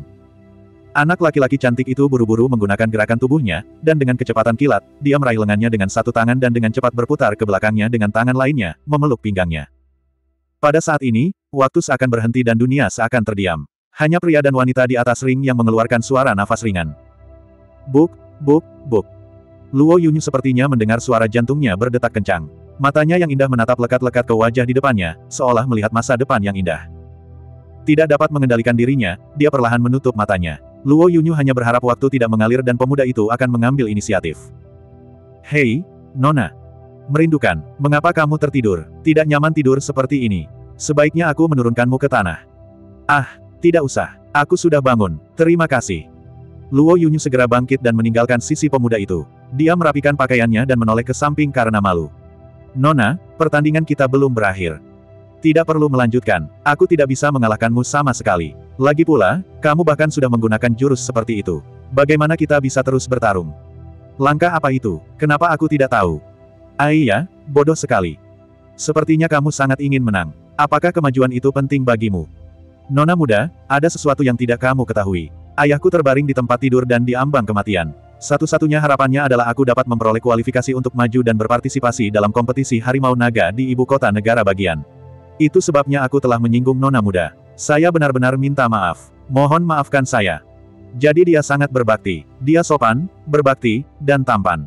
Bagaimana bisa ada pria yang begitu sempurna di dunia ini? Merindukan, merindukan. Anak laki-laki cantik itu mengangkat kepalanya dan melihat pihak lain tersenyum bodoh sambil menatap lurus ke arahnya. Dia tidak bisa menahan diri untuk tidak berteriak. Oh, kamu sangat berbakti. Aku bersedia mengaku kalah. Pipi Luo Yunyu memerah saat dia berbicara dengan malu-malu. Terima kasih atas bantuanmu. Namaku Liu Wenyuan. Kamu bisa memanggilku kakak Liu. Ya, kakak Liu. Namaku Luo Yunyu. Kamu bisa memanggilku Yunyu atau Yue, R. Baiklah, Yunyu. Ayo turun. Keduanya berjalan menyusuri ring berdampingan, meninggalkan kerumunan penonton yang tercengang karena tidak percaya. Baru beberapa saat kemudian penonton bereaksi. Sial, dunia macam apa ini? Kamu sebenarnya bisa berkencan dalam sebuah kompetisi. Bukankah ini menyiksa kita, anjing lajang? Mengapa? Kenapa cowok ganteng selalu punya cewek yang suka sama mereka, apa pun yang mereka lakukan, bahkan di kompetisi?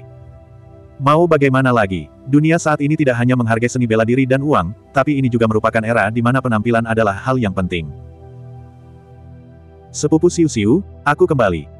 Begitu dia memasuki ruangan, Luo Ping berteriak. Saat dia berjalan mendekat, dia melihat Singer juga ada di sini. Dia mengobrol gembira dengan Chen Siu-Siu, tapi dia tidak tahu apa yang mereka bicarakan. Tuan muda. Sing, Er buru-buru berdiri dan membungkuk. Luo Ping menganggukkan kepalanya. Apa yang kalian bicarakan? Karena kamu sangat bahagia, ceritakan padaku. Biarkan aku bahagia juga. Luo Ping duduk di samping tempat tidur dan memegang tangan Chen Siu-Siu sambil bertanya. Tidak banyak, hanya beberapa hal cewek. Oh benar, sepupu Ping, bagaimana persainganmu? Apakah kamu menang? Siu Siu buru-buru mengganti topik dan tersenyum pada Singer, yang berdiri di belakang Luo Ping. Tentu saja aku menang. Setelah menonton kompetisi sepupu Yunyu, aku di sini untuk menemanimu. Sepupu Ping sangat luar biasa dan penuh perhatian. Oh benar, bagaimana kompetisi sepupu Yunyu?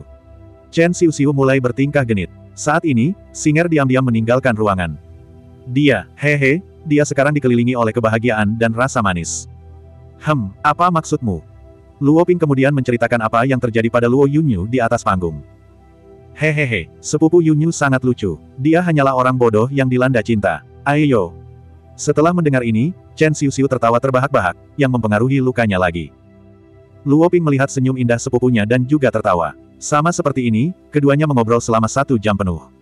Baiklah, sepupu Xiu Xiu, istirahatlah yang baik. Setelah pertempuran sebelumnya, saya merasa kekuatan saya meningkat. Sekarang saya ingin mengolah dan menstabilkannya. Luo Ping khawatir tubuh lemah Chen Xiu tidak akan tahan jika mereka terus mengobrol, jadi dia angkat bicara. Ya, sepupu Ping, pergilah dan berkultivasi. Kamu tidak perlu menemaniku. Aku bisa menjaga diriku sendiri. Chen Xiu menjawab dengan patuh. Baiklah, kalau begitu aku pergi. Istirahatlah yang baik. Hubungi Singer jika kamu butuh sesuatu. Setelah menutupinya dengan selimut, Luo Ping meninggalkan ruangan dan langsung menuju lapangan seni bela diri. Setelah pertarungan hidup dan mati dengan Zhang Juyin, serta konfrontasi dengan Geng Xi, Luo Ping memiliki pemahaman di dalam hatinya. Dia berencana menggunakan kesempatan ini untuk berkultivasi. Keinginannya akan kekuatan sangat kuat sekarang. Entah itu ancaman dari klan Zhang atau cedera sepupunya, dia dengan jelas memahami bahwa hanya dengan kekuatan besar dia dapat melindungi dirinya sendiri dan orang yang dicintainya.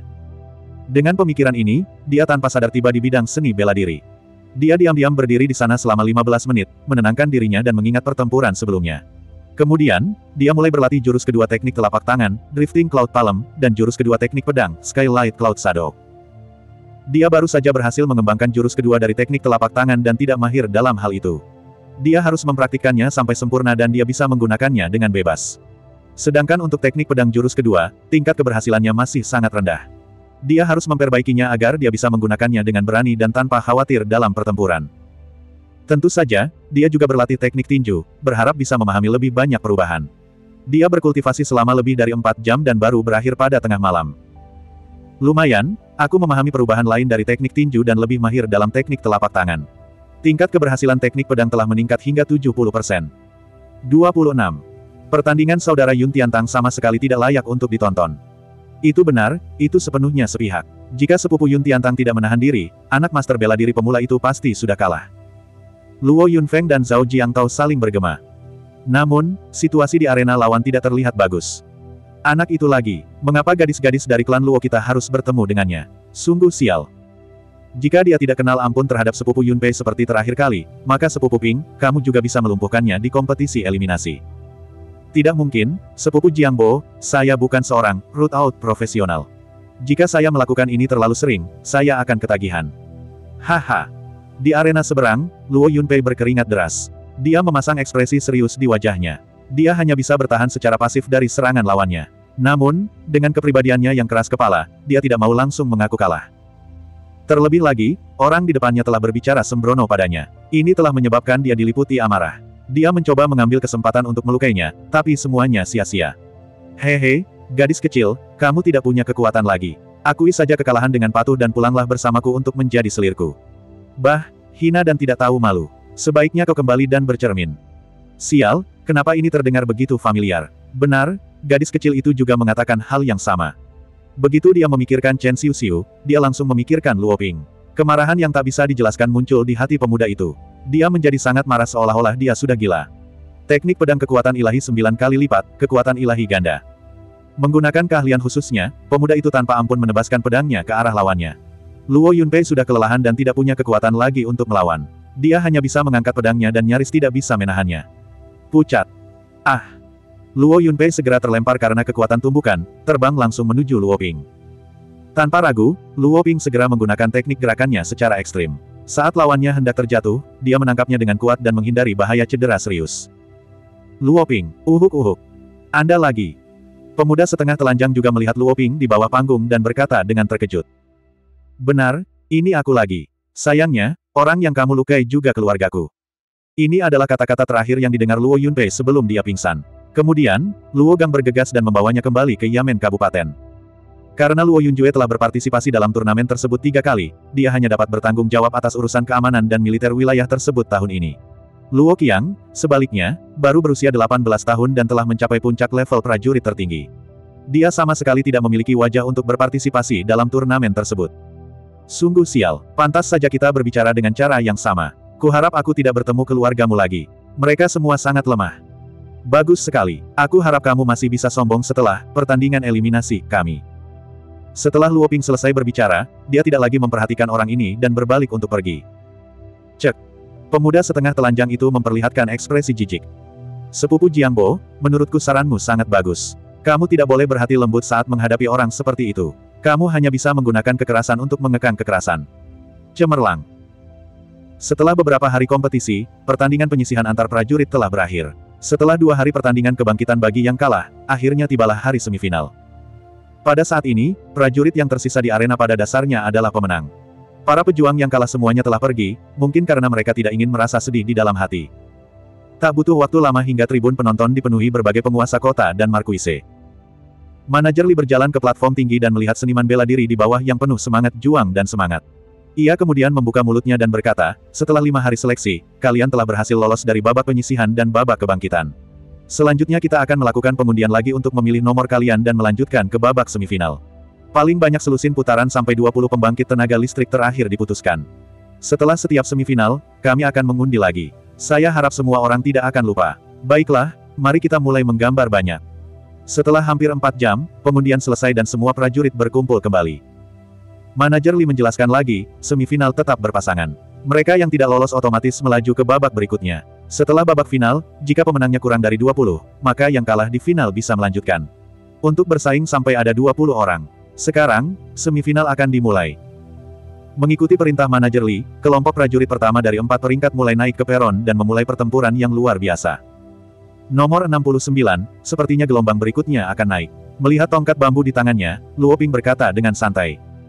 Dalam waktu kurang dari satu jam, kelompok prajurit pertama menyelesaikan pertandingan mereka dan kelompok kedua naik. Setelah Luo Ping naik ke peron, dia melihat lawannya dan merasa sedikit terkejut.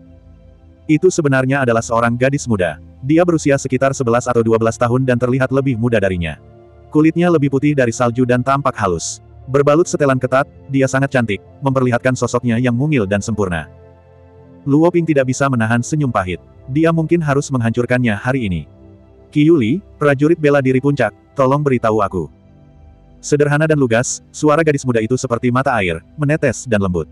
Awalnya membuat orang merasa manis dan lembut, namun saat menikmatinya, mereka merasakan langit luas dan awan cerah, membuat orang merasa rileks. Luoping, prajurit bela diri puncak, tolong beritahu aku. Melihat pihak lain begitu sopan, Luoping tidak mau kehilangan muka dan membalas sapaannya. Silakan. Setelah gadis muda itu selesai berbicara, dia menghunuskan pedang kembar bebek Mandarin miliknya dan bergegas ke depan. Di bawah serangan terus-menerus dari kedua pedang, tidak ada celah dan tidak ada celah. Melihat ini, Luo Ping menghunuskan pedang harta karun, mengejar matahari, dan mulai menggunakan ilmu pedangnya untuk menghadapi musuh. Bright Moon Six Strikers, serangan pertama, Bright Moonlight Before the Bed, Misty Frost on the Ground. Gadis muda itu berteriak dan melepaskan teknik pedang pamungkasnya, menyerang dua titik vital Luo Ping secara bersamaan, tidak memberikan lawannya kesempatan untuk bertahan hidup. Melihat ini, Luo Ping menggunakan teknik gerakannya dan menghindar ke samping. Kemudian, dia menggunakan pedangnya untuk memblokir pedang pendek yang menyerang tubuh bagian bawahnya. Dengan suara, dang, dia menangkis pedang pendek itu dan tubuh bagian atasnya juga menghindari serangan itu. Enam serangan bulan terang, serangan kedua, bulan terang terbit dari Gunung Surgawi, di antara lautan awan tanpa batas. Gadis muda itu tidak berhenti dan menggunakan serangan kedua. Luo Ping dengan mudah menerobos serangan pedang itu lagi. Apalagi dia hanya bertahan dan tidak menyerang. Melihat hal tersebut, gadis muda itu hanya bisa menyerang lagi. Menggunakan Bright Moon Six Strikers, dia masih tidak bisa melakukan apa pun pada lawannya.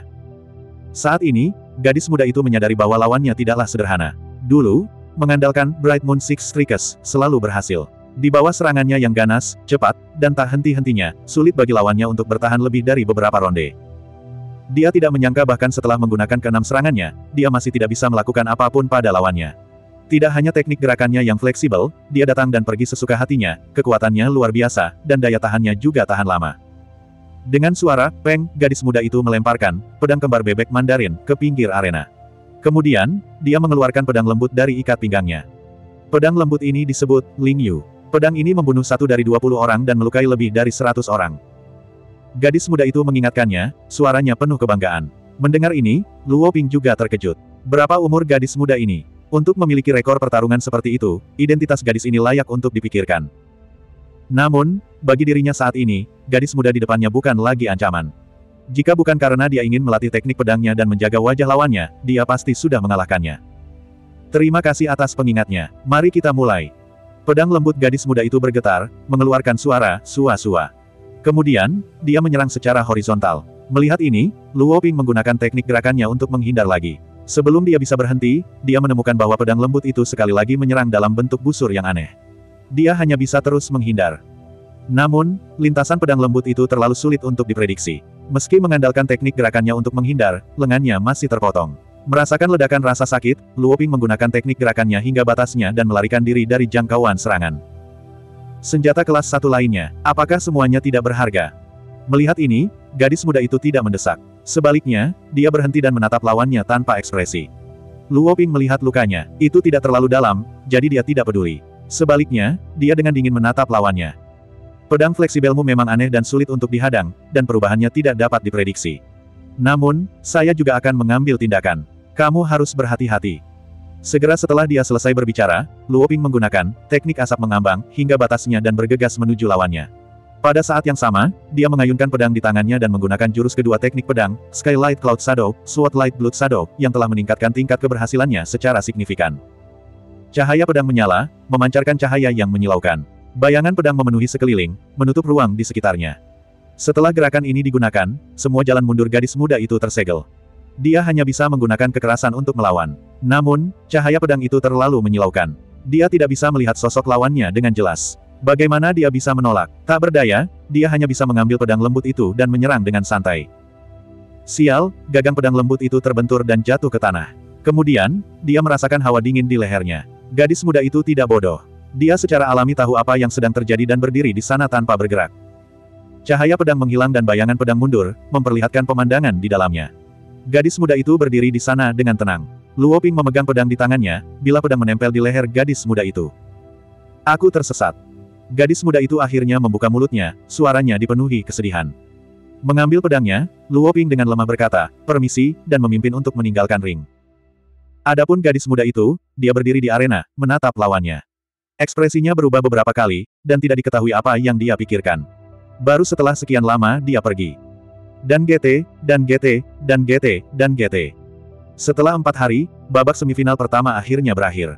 Kecuali Luo Ping, Zhao Jiambo, Luo Yunfei, dan Luo Yunfeng semuanya menang dan memasuki babak semifinal kedua.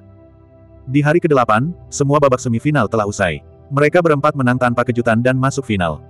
Saat memasuki final, Luo Ping tidak khawatir sama sekali. Dengan kekuatannya saat ini, selama dia tidak bertemu dengan seorang seniman bela diri yang lebih abnormal darinya, mendapatkan tempat pertama dalam kategori prajurit bela diri akan menjadi hal yang mudah. Dia tidak peduli dengan final yang akan datang. Saat ini, dia sudah menantikan pertandingan kualifikasi dengan Lei Feng. Ini sudah menjelang final, jadi pertandingan mereka harus dimulai.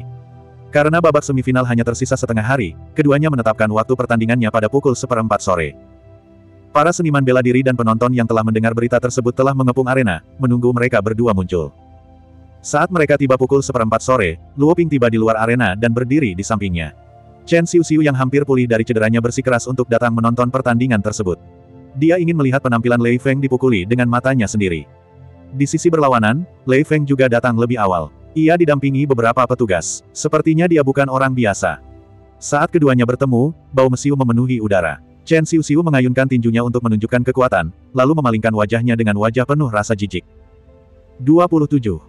Sosok cantik perlahan berjalan menuju Luo Ping, tapi kepalanya sedikit menunduk. Dia tidak mengangkat kepalanya sampai dia berada di depan Luo Ping. Wajah lembutnya menunjukkan sedikit kegelisahan dan rasa malu. Bibir merahnya terbuka sedikit seolah ingin mengatakan sesuatu, tapi tidak ada suara yang keluar. Dia kemudian menutup mulutnya rapat-rapat, seolah ingin mengatakan sesuatu tapi terhenti. Sepupu Yunpei, ada apa? Luo Ping tersenyum dan bertanya. Kalau tidak, akan lebih canggung jika mereka berdua berdiri di sana seperti orang idiot. Aku, aku hanya ingin. Terima kasih, Sepupu Ping. Apa, apakah kamu mendengarnya? Dia memanggilmu Sepupu Ping.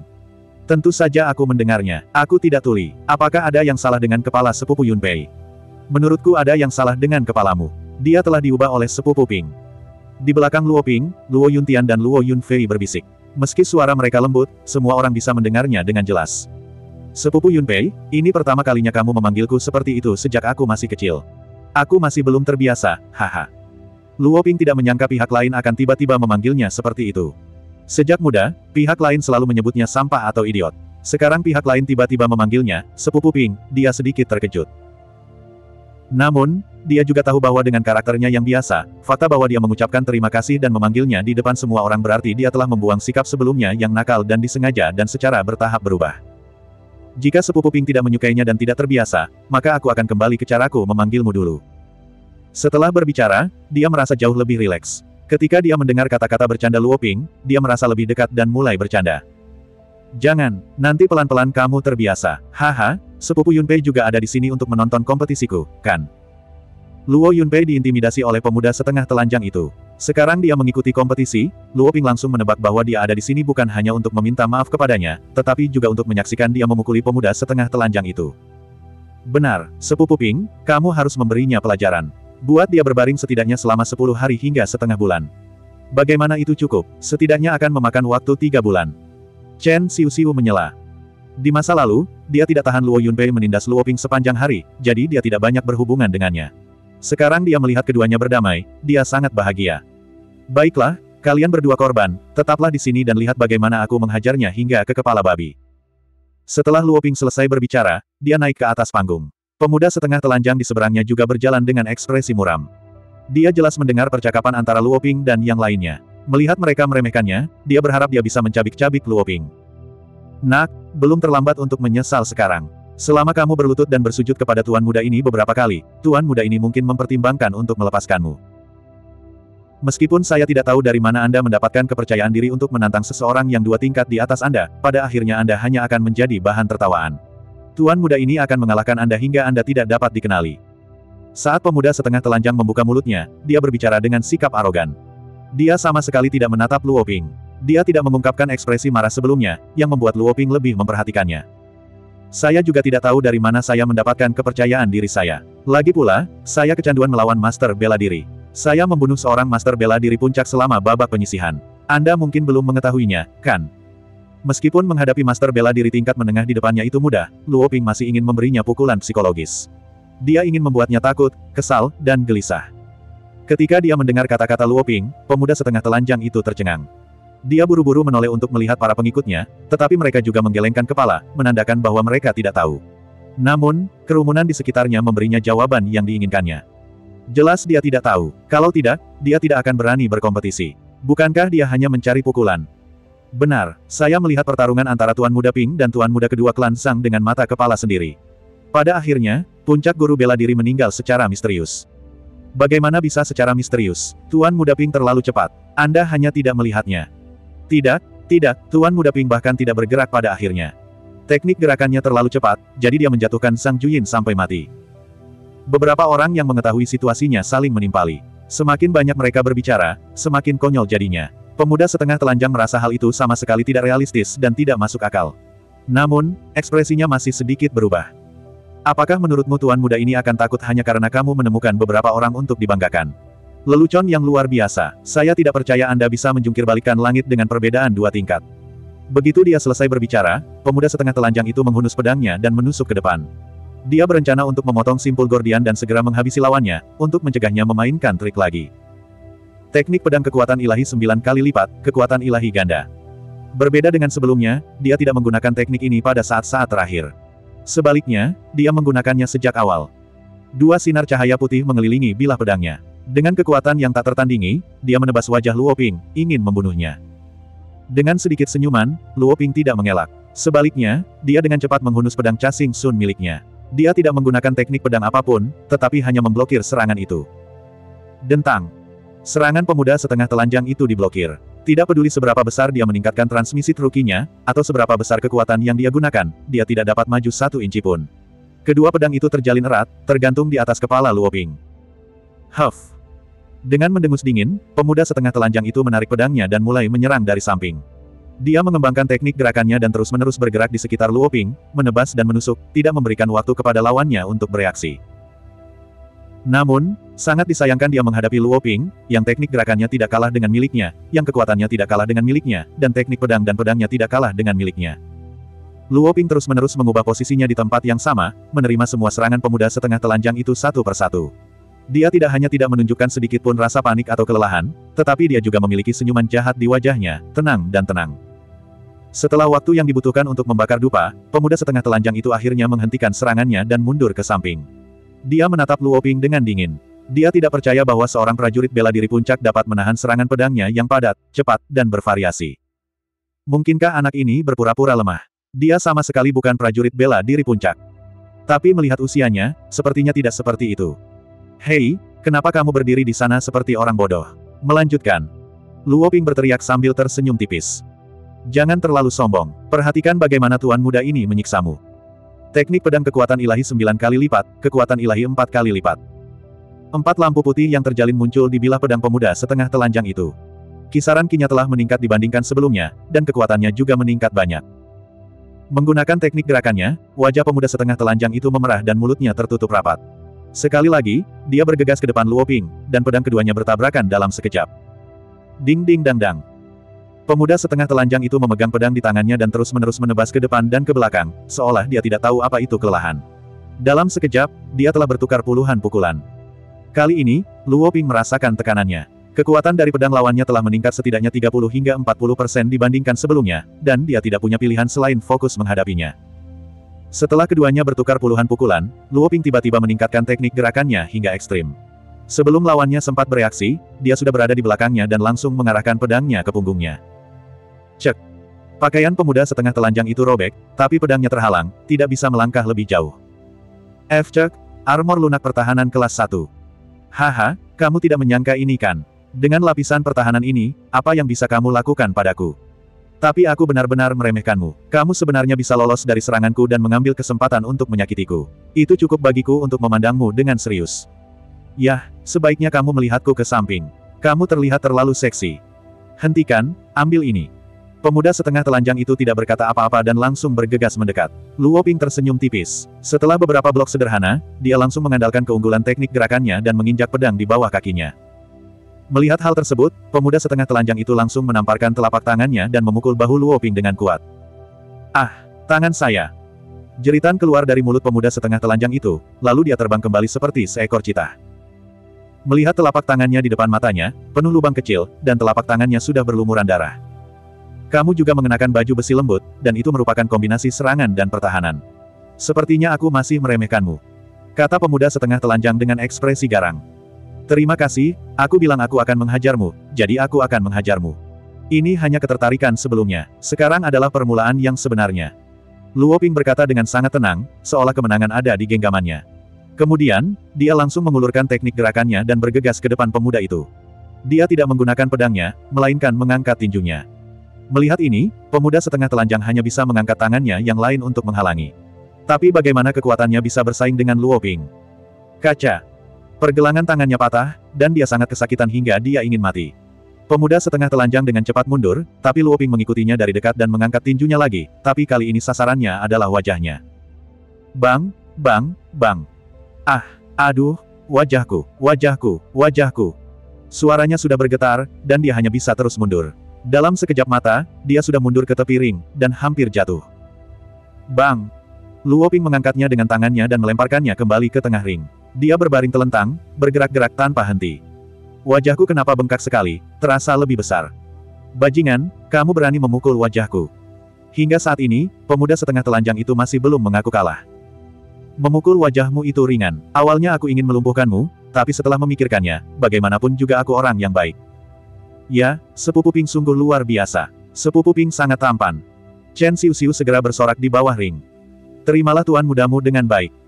Setelah Luo Ping selesai berbicara, dia menendang pemuda setengah telanjang itu ke arah para pengikutnya.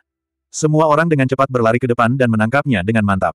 Jika diperhatikan dengan cermat, wajahnya tidak dapat dikenali lagi, dan terlalu mengerikan untuk dilihat. Wu, cepat bawa tuan muda ini kembali ke penginapan, lalu segera berangkat pulang. Ya, tuan muda. Pemuda setengah telanjang itu tidak masuk final, dan sekarang dia tidak ingin tinggal di sini sebentar, jadi dia segera memerintahkan pengikutnya untuk membawanya kembali. Ini sangat memuaskan, tapi agak terlalu ringan. Menurutku juga begitu, seharusnya dia dipukuli sampai anggota tubuhnya lumpuh. Dalam waktu singkat, Chen Xiu dan Luo Yunpei menjadi dekat satu sama lain, dan keduanya menggemakan kata-kata satu sama lain. Pertandingan kualifikasi, ini telah berakhir sepenuhnya. Meskipun Luo Ping tidak melumpuhkan pemuda setengah telanjang atau membunuhnya, nama garangnya masih menyebar ke seluruh bidang kompetisi, dan dia menjadi selebriti cilik. Kantor Pemerintah Kabupaten, Balai Konferensi Orang-orang dari keluarga Luo, keluarga Chen Tili, dan dua saudara laki-laki Zhao Jiangbo semuanya berkumpul di sini, dan sepertinya mereka memiliki sesuatu yang penting untuk didiskusikan. Ayah, ada apa? Mengapa Anda memanggil kami ke sini? Luo Minglei memimpin dan bertanya. Kali ini aku memanggilmu ke sini untuk mendiskusikan geng Iron Force. Tai Li, lebih baik kamu mengatakannya. Ya, ayah mertua. Chen Tili segera berdiri dan menceritakan apa yang terjadi di geng tersebut. Beberapa bulan yang lalu, Benteng Serigala Api, yang berada di peringkat keempat di antara sepuluh geng besar di daerah ini, tiba-tiba menyerang kamp utama kami. Geng kami lengah dan menderita banyak korban. Wakil pemimpin geng Zhou pun tidak luput dan terkena dampaknya. Dibunuh oleh pihak lain, dan semua orang yang mati itu kepalanya dipenggal dan kepalanya hilang. Setelah itu, Fire Wolf Bastion akan datang ke sekitar geng kami untuk mengganggu kami sesekali. Mereka terutama akan menyerang saudara-saudara kami yang sendirian. Ketika kami tiba, Fire Wolf Bastion akan segera mundur dan tidak melawan kami secara langsung. Pada jadi geng kita hanya bisa memperkuat pertahanan dan melarang saudara-saudara kita keluar sendirian, agar mereka tidak punya kesempatan. Namun beberapa hari sebelum saya membawa Siu Siu dan yang lainnya ke kantor pemerintah daerah, lebih dari 10 saudara dibunuh secara diam-diam, dan kepala mereka hilang. Setelah diselidiki, kami bahkan tidak dapat menemukan bayangan si pembunuh. Saya tidak punya pilihan selain diam-diam mengirim orang untuk menyelidiki benteng serigala api. Pada akhirnya, saya akhirnya mengetahui bahwa ada pria misterius berjubah hitam yang bersembunyi di benteng mereka, dan semuanya diam-diam diperintahkan oleh pria berjubah hitam itu. Pria berjubah hitam apa? Siapa dia? Kenapa dia melawan geng Iron Force milik paman kelima? 28. Kami belum mengetahui identitas pria berjubah hitam itu, dan kami tidak tahu mengapa dia ingin melawan geng kekuatan besi saya. Namun, kami dapat yakin bahwa dia adalah seseorang yang mempraktekkan teknik jahat dan merupakan seorang Grandmaster bela diri. Kakak ipar kelima, sepuluh geng besarmu telah hidup damai selama bertahun-tahun dan tidak pernah saling menyinggung satu sama lain. Sekarang Firewolf Bastion telah mengambil inisiatif untuk memprovokasimu, tampaknya pria berjubah hitam itu telah identitas khusus, atau dia menjanjikan keuntungan besar. Luo Mingsuang menganalisis. Saudara kedua benar, menurut laporan mata-mata yang saya kirim, sebuah platform tinggi telah dibangun di tengah benteng Serigala Api. Platform tinggi itu dipenuhi dengan tengkorak, tetapi tak satu pun dari mereka yang memiliki daging tersisa. Hanya atumpukan kerangka yang tersisa. Setiap malam, pria berjubah hitam akan terbang ke platform tinggi dan menuangkan sekantong penuh tengkorak ke platform tersebut. Kemudian, dia akan menyedot otak dari tengkorak satu persatu hingga semuanya menjadi tumpukan kerangka. Lalu, dia akan duduk bersila di platform tinggi dan berkultivasi. Menurut spekulasiku, pria berjubah hitam itu pasti telah membuat kesepakatan dengan Firewolf Bastion agar dia bisa bersembunyi di Bastion dan mempraktikkan teknik jahat. Adapun manfaat apa yang dia janjikan pada Firewolf Bastion, tidak ada yang tahu. Jika itu masalahnya, maka serangan benteng serigala api seharusnya sudah direncanakan sebelumnya. Namun, yang paling dekat dengan mereka seharusnya adalah balai kura-kura raksasa peringkat sembilan. Mengapa mereka menyerah pada apa yang ada di dekat mereka dan pergi ke apa yang jauh? Luo Mingzhen berkata dengan bingung. Menurutku, kakak ipar kelima pasti telah melakukan sesuatu yang buruk dan memprovokasi musuh besar. Itu sebabnya Firewolf Bastion datang mencari kita. Luo Minglei berkata sambil tersenyum dingin. Baiklah, mari kita akhiri pembahasannya di sini. Adapun identitas pria berjubah hitam dan tujuannya, kita akan mengetahuinya setelah kita menangkapnya. Luo Haoyu melihat Chen Tili dan Luo Minglei akan bertengkar lagi, jadi dia segera menyela mereka. Hari ini, aku mengumpulkan kalian semua di sini karena aku berencana memberikan tugas membantu Tai Li menangkap pria berjubah hitam itu kepada kalian, anak-anak muda. Apa, Anda ingin kami pergi? Tetapi pria berjubah hitam itu adalah seorang master bela diri. Kita tidak bisa mengalahkannya. Kamu lupa kalau sepupu Yun San juga seorang Grandmaster bela diri. Dia tak terkalahkan di antara teman-temannya. Selama kita tidak berurusan dengan pria berjubah hitam itu, kita bisa pergi dan berlatih. Para pemuda generasi ketiga segera mulai berdiskusi satu sama lain. Mereka semua sangat puas dengan pengaturan ini. Kalau tidak ada yang keberatan, mari kita bahas pemilihan personel. Itu semua sukarela. Kalau tidak kuat, jangan pergi. Setelah Luo Haoyu selesai berbicara, semua orang di aula mulai berdiskusi. Itu berlangsung selama satu jam sebelum berakhir. Ada 35 orang di babak final kompetisi Martial Warrior. Selain satu orang yang mendapat bye, 34 orang lainnya harus bersaing untuk menentukan 17 orang yang lolos ke babak selanjutnya. Kemudian, mereka yang mendapat bye dan mereka yang kalah akan terus bersaing memperebutkan dua tempat terakhir. Setelah Luoping menerima tongkat bambu, dia melihat nomor 23. Itu bukan undian berhadiah, tapi dia tidak peduli. Selama dia memenangkan pertempuran ini, dia dapat dengan lancar memperoleh kualifikasi untuk berpartisipasi dalam turnamen naga dan harimau. Karena hanya ada 17 grup, semuanya dimulai pada waktu yang sama. Setelah Luoping naik ke atas panggung, wajah pemuda yang semula berdiri di atas panggung tiba-tiba berubah drastis. Wajahnya berganti-ganti antara hijau dan putih, seolah-olah dia mengalami trauma. Setelah berjuang beberapa saat, pemuda itu tiba-tiba membuka mulutnya. Saya mengaku kalah. Saya tidak ingin bertarung lagi. Anda sudah bisa menindas seorang master bela diri. Bagaimana saya bisa terus bertarung? Setelah dia selesai berbicara, dia turun dari panggung tanpa menoleh ke belakang, meninggalkan sosok yang kesepian dan sunyi. Luo Ping tersenyum tak berdaya. Dia secara tak terduga memperoleh kualifikasi untuk maju dengan lancar. Kompetisi telah berakhir bahkan sebelum dimulai. Beberapa tahapan bahkan belum dimulai. Dia juga tahu bahwa pemuda itu pasti sudah melihat pertandingan kualifikasi, dan otomatis mengakui kekalahan. Namun, dia tidak peduli. Apakah dia bertarung atau tidak, dia pasti akan maju. Berbeda sekali dengan kemajuan mulus Luo Ping, pertarungan kemajuan Luo Yuntian bisa dikatakan sangat sulit. Bagaimanapun, dia hanyalah seorang master bela diri tingkat menengah. Bahkan jika kekuatannya luar biasa, dia tidak dapat menjamin bahwa dia akan mampu menekan seorang master bela diri puncak. Namun, demi janjinya, dia harus menang. Keyakinan teguh inilah yang membuat pertempuran ini sangat khusyuk dan menggemparkan. Di atas panggung, Luo Yuntian dan lawannya berdiri di sisi berlawanan. Darah mengalir dari sudut mulut mereka dan mereka terengah-engah. Sepertinya mereka tidak memiliki kekuatan ekstra untuk terus bertarung. Saya katakan, saudaraku, apakah ada kebutuhan untuk berjuang begitu, mati-matian? Anda, seorang master bela diri tingkat menengah, kalahkan saya. Sampai pada kondisi ini, kamu mau mati. Uhuk, aku tidak bisa kalah. Kalau aku kalah, aku tidak akan punya istri. Jadi, aku harus menang. Mother of Asterisker, kamu benar-benar, laki-laki, bagaimana kalau ini, ayo bertarung untuk yang terakhir kalinya. Jika kamu tidak jatuh, aku akan mengaku kalah dan memenuhi keinginanmu. Oke terima kasih. Datang. Seni pedang bergegas surga, gaya keempat, awan kering menutupi matahari. Pisau instan. Setelah awan kering menutupi matahari dieksekusi, bayangan pedang muncul satu demi satu. Saat mereka bergerak maju, mereka mengaduk-aduk udara di sekitarnya. Angin puyuh muncul dari segala arah, membentuk lapisan kabut hitam yang menutupi ruangan.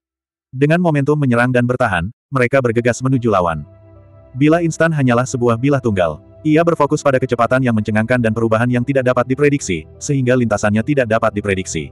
Terlebih lagi, pancaran pedang itu menari-nari dengan kacau saat energi sejati berkumpul. Saat pedang dan pedang bertabrakan, suara itu mengguncang sekeliling. Percikan api beterbangan ke segala arah, pasir dan batu beterbangan, dan kabut memenuhi langit. Setelah kabut hitam menghilang, keduanya menggunakan senjatanya untuk menopang diri mereka sendiri di tanah. Mereka berusaha semaksimal mungkin untuk tidak terjatuh, namun tubuh mereka yang gemetar menunjukkan kekuatan serangan ini. Mengatupkan giginya, Luo Yuntian memegang gagang pedangnya erat-erat dengan kedua tangannya. Dia mencoba yang terbaik untuk menstabilkan tubuhnya dan mencegah dirinya terjatuh. Saat dia hendak pingsan, suara celepuk terdengar dari sisi berlawanan. Dia mengangkat kepalanya dan melihat lawannya sudah jatuh ke tanah, terengah-engah. Luo Yuntian tidak tahu dari mana dia mendapatkan kekuatan itu, tapi dia mengangkat pedangnya dan tertawa terbahak-bahak. Setelah tertawa, tubuhnya pun terjatuh ke tanah. Namun, dia sudah mendapat tempat di final. Selain Luo Ping dan Luo Yuntian, Zhao Jiangbo, Luo Yunfei, dan Luo Yunfeng juga melaju ke final dan memperoleh tempat. Setelah final, kompetisi pemeringkatan final akan diadakan. Tujuan dari kompetisi ini adalah untuk memenangkan hadiah turnamen tantangan pemerintah daerah tahun ini. Manajer Li berdiri di platform tinggi dan melihat ke 80 orang yang tersisa di bawah platform.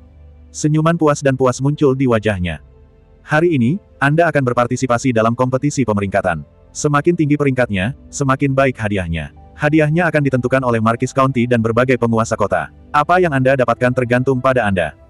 Sekarang saya akan menjelaskan aturan lomba pemeringkatan. Setelah 20 orang diundi, mereka akan dibagi menjadi 10 kelompok yang terdiri dari dua orang.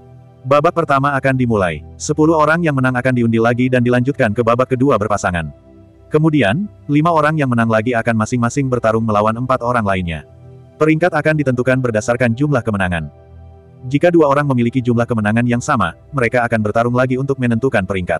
Lima orang yang kalah juga akan bertarung dengan cara yang sama. Sepuluh orang yang kalah pada babak pertama akan memperebutkan tempat ke-11 hingga ke-20 sesuai dengan aturan yang sama.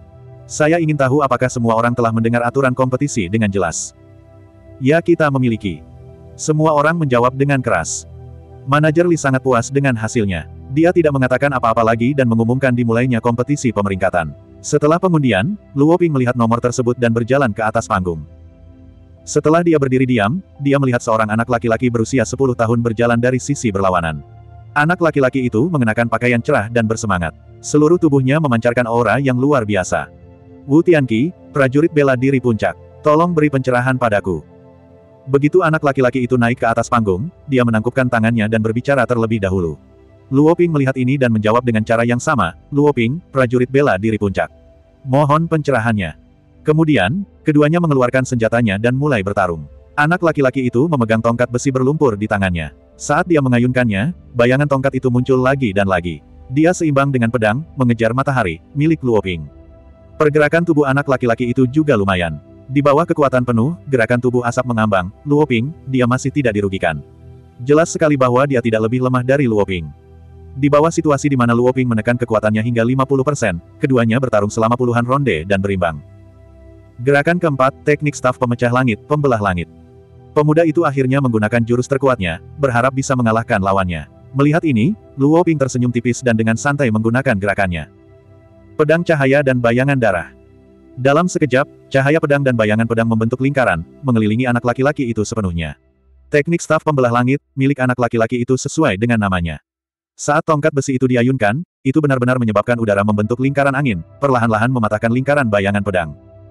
Melihat ini, Luo Ping tidak menunda lagi. Sekali lagi, dia mendorong gerakan tubuhnya hingga batasnya dan tiba-tiba muncul di belakang anak laki-laki itu. Tangan kirinya ditinju. Tinju lengan kera ilahi. Dengan teriakan nyaring, tinju itu mengenai punggung anak itu. Anak laki-laki itu mengerang kesakitan dan bergegas ke depan. Dia berlutut di atas panggung, sedikit darah mengalir dari sudut mulutnya. Meskipun teknik tongkat dan gerakan tubuh anak itu cukup bagus, kekuatan fisiknya sedikit lebih lemah. Bagaimana dia bisa menahan pukulan Luo Ping, meskipun kekuatannya hanya 50 hingga 60 persen? Langsung menderita luka dalam, anak laki-laki itu berlutut di tanah. Dia tahu bahwa dia tidak bisa lagi bertarung dan tidak punya pilihan selain mengakui kekalahan. Luo Ping berkata dengan nada meminta maaf dan berjalan menuruni ring. Di tribun penonton, Gubernur Kota Wu menghela nafas saat melihat pemuda itu dikalahkan. Dia bertanya, County Marquis, jika saya tidak salah, orang yang mengalahkan putra ketiga saya seharusnya adalah cucu Anda, bukan? Bolehkah saya tahu putra siapa dia? Luo Haoyu tersenyum dan tidak mengatakan apa pun. Sebaliknya, dia melihat ke arah Luo Mingsuang. Luo Mingsuang mengerti dan segera berkata, Gubernur Wu, saya benar-benar minta maaf. Pinger adalah putra ketiga saya. Jadi dia adalah putra dari keluarga saudara Ming Suang. Tidak heran, Luo Ping, dia tampaknya menjadi sangat terkenal akhir-akhir ini. Hampir semua orang di daerah ini tahu tentang dia. Gubernur Wu berkata dengan tiba-tiba menyadari. Haha, tidak tidak. Itu semua hanya rumor. Jangan percaya. Saudara Ming Suang, kamu terlalu khawatir. Kita semua berada di pihak yang sama. Ini bukan masalah besar. Haha. Setelah mengatakan itu, keduanya tertawa. Setelah melaju ke sepuluh besar, tibalah waktunya untuk lima besar. Luo Ping mengalahkan empat lainnya dan memenangkan tempat pertama dalam kompetisi peringkat Martial Warrior. Di platform atas, manajer Lee melihat daftar peringkat di tangannya. Dia mengatakan kepada semua orang di bawah platform, setelah hampir 20 hari persaingan yang ketat, turnamen tantangan pengadilan daerah tahun ini akhirnya berakhir dengan sukses. Setiap pejuang yang berpartisipasi dalam turnamen ini layak mendapat pengakuan. Dan Anda semua adalah talenta yang luar biasa. Aku tidak hanya bangga padamu, tapi markis kabupaten dan gubernur lainnya juga bangga padamu. Kali ini, daftar peringkat akhir sudah ada di tangan saya. Selanjutnya, mari kita dengan hangat menyambut Tuan Kota Su ke panggung untuk membacakan daftarnya untuk kita. Mari kita sambut dia. 29. Pertama adalah peringkat prajurit bela diri. Tempat pertama adalah Luo. Tempat ke-10 adalah Wu Tianqi. Tempat ke-11 adalah Qi Yuli. Tempat ke-20 adalah... Saat mendengar nama Qi Yuli, Luo Ping sedikit terkejut. Dia tidak menyangka bahwa dia tidak hanya hidup kembali di babak kebangkitan, tetapi dia juga mendapat tempat ke-11. Tampaknya dia tidak sederhana sama sekali. Berikutnya adalah peringkat dari prajurit bela diri hebat. Tempat pertama adalah... Tempat kedua adalah Lu Feng. Tempat keempat adalah Luo Yunfei. Tempat kelima adalah Luo Yunfeng. Tempat kedelapan adalah Liu Wenyuan. Tempat kedua puluh adalah karena para prajurit harus mengangkat tangan ketika nama mereka dibacakan, Luo Ping segera menyadari bahwa posisi kedua Lu Feng adalah paman yang ingin menjodohkan putrinya dengan Chenda. Berikutnya adalah peringkat Master Bela Diri. Tempat pertama adalah, tempat ketiga adalah Zhao Jiangbo. Tempat kedua puluh adalah Luo Yuntian. Ketika dia membaca nama Luo Yuntian, Gubernur Su jelas terkejut. Luo Yuntian, sebaliknya, hampir tertawa terbahak-bahak. Tampaknya Gubernur Subahkan tidak bermimpi bahwa dia akan mendapatkan kualifikasi untuk maju. Dia pasti memikirkan banyak hal di dalam hatinya. Akhirnya adalah peringkat dari Great Martial Masters. Baiklah, daftar peringkat sudah selesai. Selamat kepada seluruh peserta yang melaju ke 20 besar. Beberapa dari Anda dapat mencapai hasil seperti itu karena Anda terobsesi dengan seni bela diri dan ingin melakukannya tingkatkan diri Anda melalui pertempuran. Beberapa dari Anda dapat mencapai hasil seperti itu karena Anda memiliki janji dan ingin memenuhi keinginan Anda. Apa pun alasannya, tujuan Anda sekarang dapat terwujud. Setelah Gubernur Su selesai berbicara, dia dengan sengaja atau tidak sengaja melirik Luo Yuntian, mengungkapkan ekspresi yang berarti. Kemudian, dia berbalik dan kembali ke tempat duduknya. Luo Yuntian bukanlah orang bodoh. Mendengar perkataan Gubernur Su dan melihat sorot matanya, ia hampir terlonjak karena Gubernur Su akhirnya menyetujui pernikahannya dengan Su Hui. Pada saat ini, Luo Ping, Zhao Jiangbo, dan yang lainnya juga menatapnya dengan tatapan dan senyuman ucapan selamat. Dia hanya perlu menunggu pembubaran sebelum dia bisa bersorak sepuasnya. Ketika manajer Lee melihat Gubernur Su telah kembali ke tempat duduknya, dia sekali lagi kembali ke tengah tribun dan berkata dengan lantang, 20 peserta teratas dalam turnamen tantangan daerah ini, selain memenuhi syarat untuk berpartisipasi dalam turnamen tingkat negara bagian yang lebih tinggi turnamen Dragon Tiger, juga akan menerima hadiah yang sesuai dengan peringkatnya. Sekarang, saya akan mengumumkan isi hadiahnya. Tiga seniman bela diri teratas dari setiap peringkat masing-masing akan menerima senjata serangan peringkat pertama, senjata pertahanan peringkat pertama, keterampilan gerakan peringkat pertama, dan tiga botol 100 herbal. Cairan. Apa, bahkan ada, 100 cairan herbal. Jika saya tahu sebelumnya bahwa akan ada hadiah seperti itu, saya akan berjuang untuk masuk 20 besar meskipun itu berarti mempertaruhkan nyawa saya. Di tengah kerumunan penonton, seorang kontestan yang sudah kalah berkata dengan kaget dan kesal. Hehe, kakak kedua Wang, berhentilah membual. Dengan kekuatanmu sebagai master bela diri pemula, kamu tidak akan bisa masuk 20 besar tidak peduli seberapa keras kamu mencoba. Lebih baik jika kamu berhenti bermimpi. Namun, apakah 100 herbal esensi ini? Seorang pria parubaya di samping Wang Laur pertama kali memandangnya dengan jijik sebelum bertanya tentang 100 cairan herbal. Lihatlah wajah udikmu. Kamu bahkan tidak tahu tentang 100 cairan herbal, dan kamu masih berani menertawakanku. Aku bahkan terlalu malas untuk memberitahumu. Wang Laur memalingkan wajahnya setelah dia selesai berbicara, seolah dia tidak ingin berbicara dengannya. Melihat ini, wajah pria parubaya itu dipenuhi amarah. Namun, dia tidak mahir dalam seni bela diri dan hanya memiliki kekuatan Great Martial Warrior tahap akhir. Dia tidak berani memberinya pelajaran dan hanya bisa memelototinya beberapa kali sebelum memalingkan wajahnya. Pada saat yang sama, di bawah tribun, tempat Luoping dan yang lainnya berkumpul, ada juga banyak prajurit yang bertanya kepada orang-orang di sekitar mereka tentang 100 esensi jamu. Para pejuang ini sebagian besar berasal dari kota-kota kecil, jadi mereka belum pernah mendengar tentang cairan ini sebelumnya, itulah sebabnya mereka menanyakan pertanyaan seperti itu. Adapun orang-orang seperti Luoping yang sudah mengetahui asal-usul dan efek cairan ini, mereka sangat terkejut. Manajer Lee dapat dengan jelas melihat situasi di bawah panggung dan menjelaskan, 100 cairan jamu, adalah ramuan rahasia yang dibuat oleh Rumah Raja Pengobatan dari Kota Raja Pengobatan.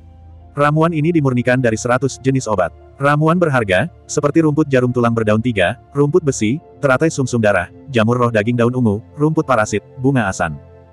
Ini memiliki efek ajaib ketika dikonsumsi secara oral dan digunakan secara eksternal.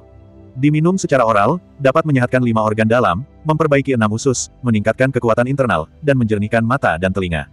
Digunakan secara eksternal dapat memperkuat otot dan tulang, meningkatkan esensi, menguatkan tubuh, dan mengeruk meridian. Ini efektif untuk prajurit tingkat master bela diri agung ke bawah. Kali ini, Marquis County menghabiskan banyak upaya untuk membeli sejumlah 100 cairan herbal dari Rumah Raja Pengobatan sebagai hadiah untuk semua orang. Semuanya, mohon berterima kasih kepada County Marquis. Setelah manajer Lee selesai berbicara, dia memimpin dan membungkuk kepada Markis Kabupaten. Melihat ini, para prajurit di bawah panggung juga membungkuk kepada County Markis. Terima kasih, Markis Kabupaten. Suara mereka rapi dan seragam serta mengguncang dunia. County Markis berdiri dan melambaikan tangannya. Dia tersenyum dan berkata, kalian semua adalah masa depan Kabupaten Nandan. Selama kalian bekerja keras dan berusaha untuk menjadi lebih kuat, itu akan menjadi hadiah terbesar bagi saya dan penguasa kota lainnya. Saya harap Anda semua dapat dianugerahi gelar Raja dan Jenderal dan menginjakan kaki di puncak seni bela diri. Bagus, Anda bisa melanjutkan. Setelah dia selesai berbicara, dia memberi isyarat kepada manajer Lee. Manajer Lee mengerti dan melanjutkan, bagus, kami akan terus mengumumkan isi hadiahnya. Prajurit keempat hingga ke-10 dari setiap peringkat masing-masing akan menerima senjata ofensif kelas 1, manual teknik telapak tangan atau tinju kelas 1, dan dua botol, 100 cairan herbal. Prajurit ke-11 hingga ke-20 dari setiap peringkat masing-masing akan menerima senjata ofensif kelas 1 dan sebotol 100 cairan herbal.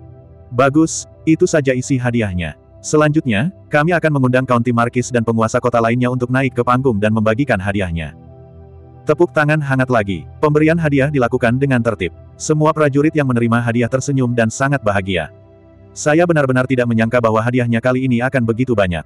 Terlebih lagi, semuanya adalah kelas 1. Saya ingat bahwa di masa lalu, paling banyak, ada senjata dan seni bela diri kelas 2, belum lagi, 100 cairan herbal, kali ini. Sepertinya kami sangat beruntung kali ini. Dalam perjalanan kembali ke Kabupaten Yamen, Luo Yunfei berkata dengan gembira. Mungkin karena aturan baru ini baru pertama kali diterapkan, agar lebih merangsang gairah semua orang dalam berlatih pencaksilat. Apa pun yang terjadi, imbalannya memang sangat menggiurkan. Luo Ping juga sangat bersemangat. Dia tidak menyangka akan menerima hadiah sebesar itu saat pertama kali berpartisipasi dalam turnamen tantangan.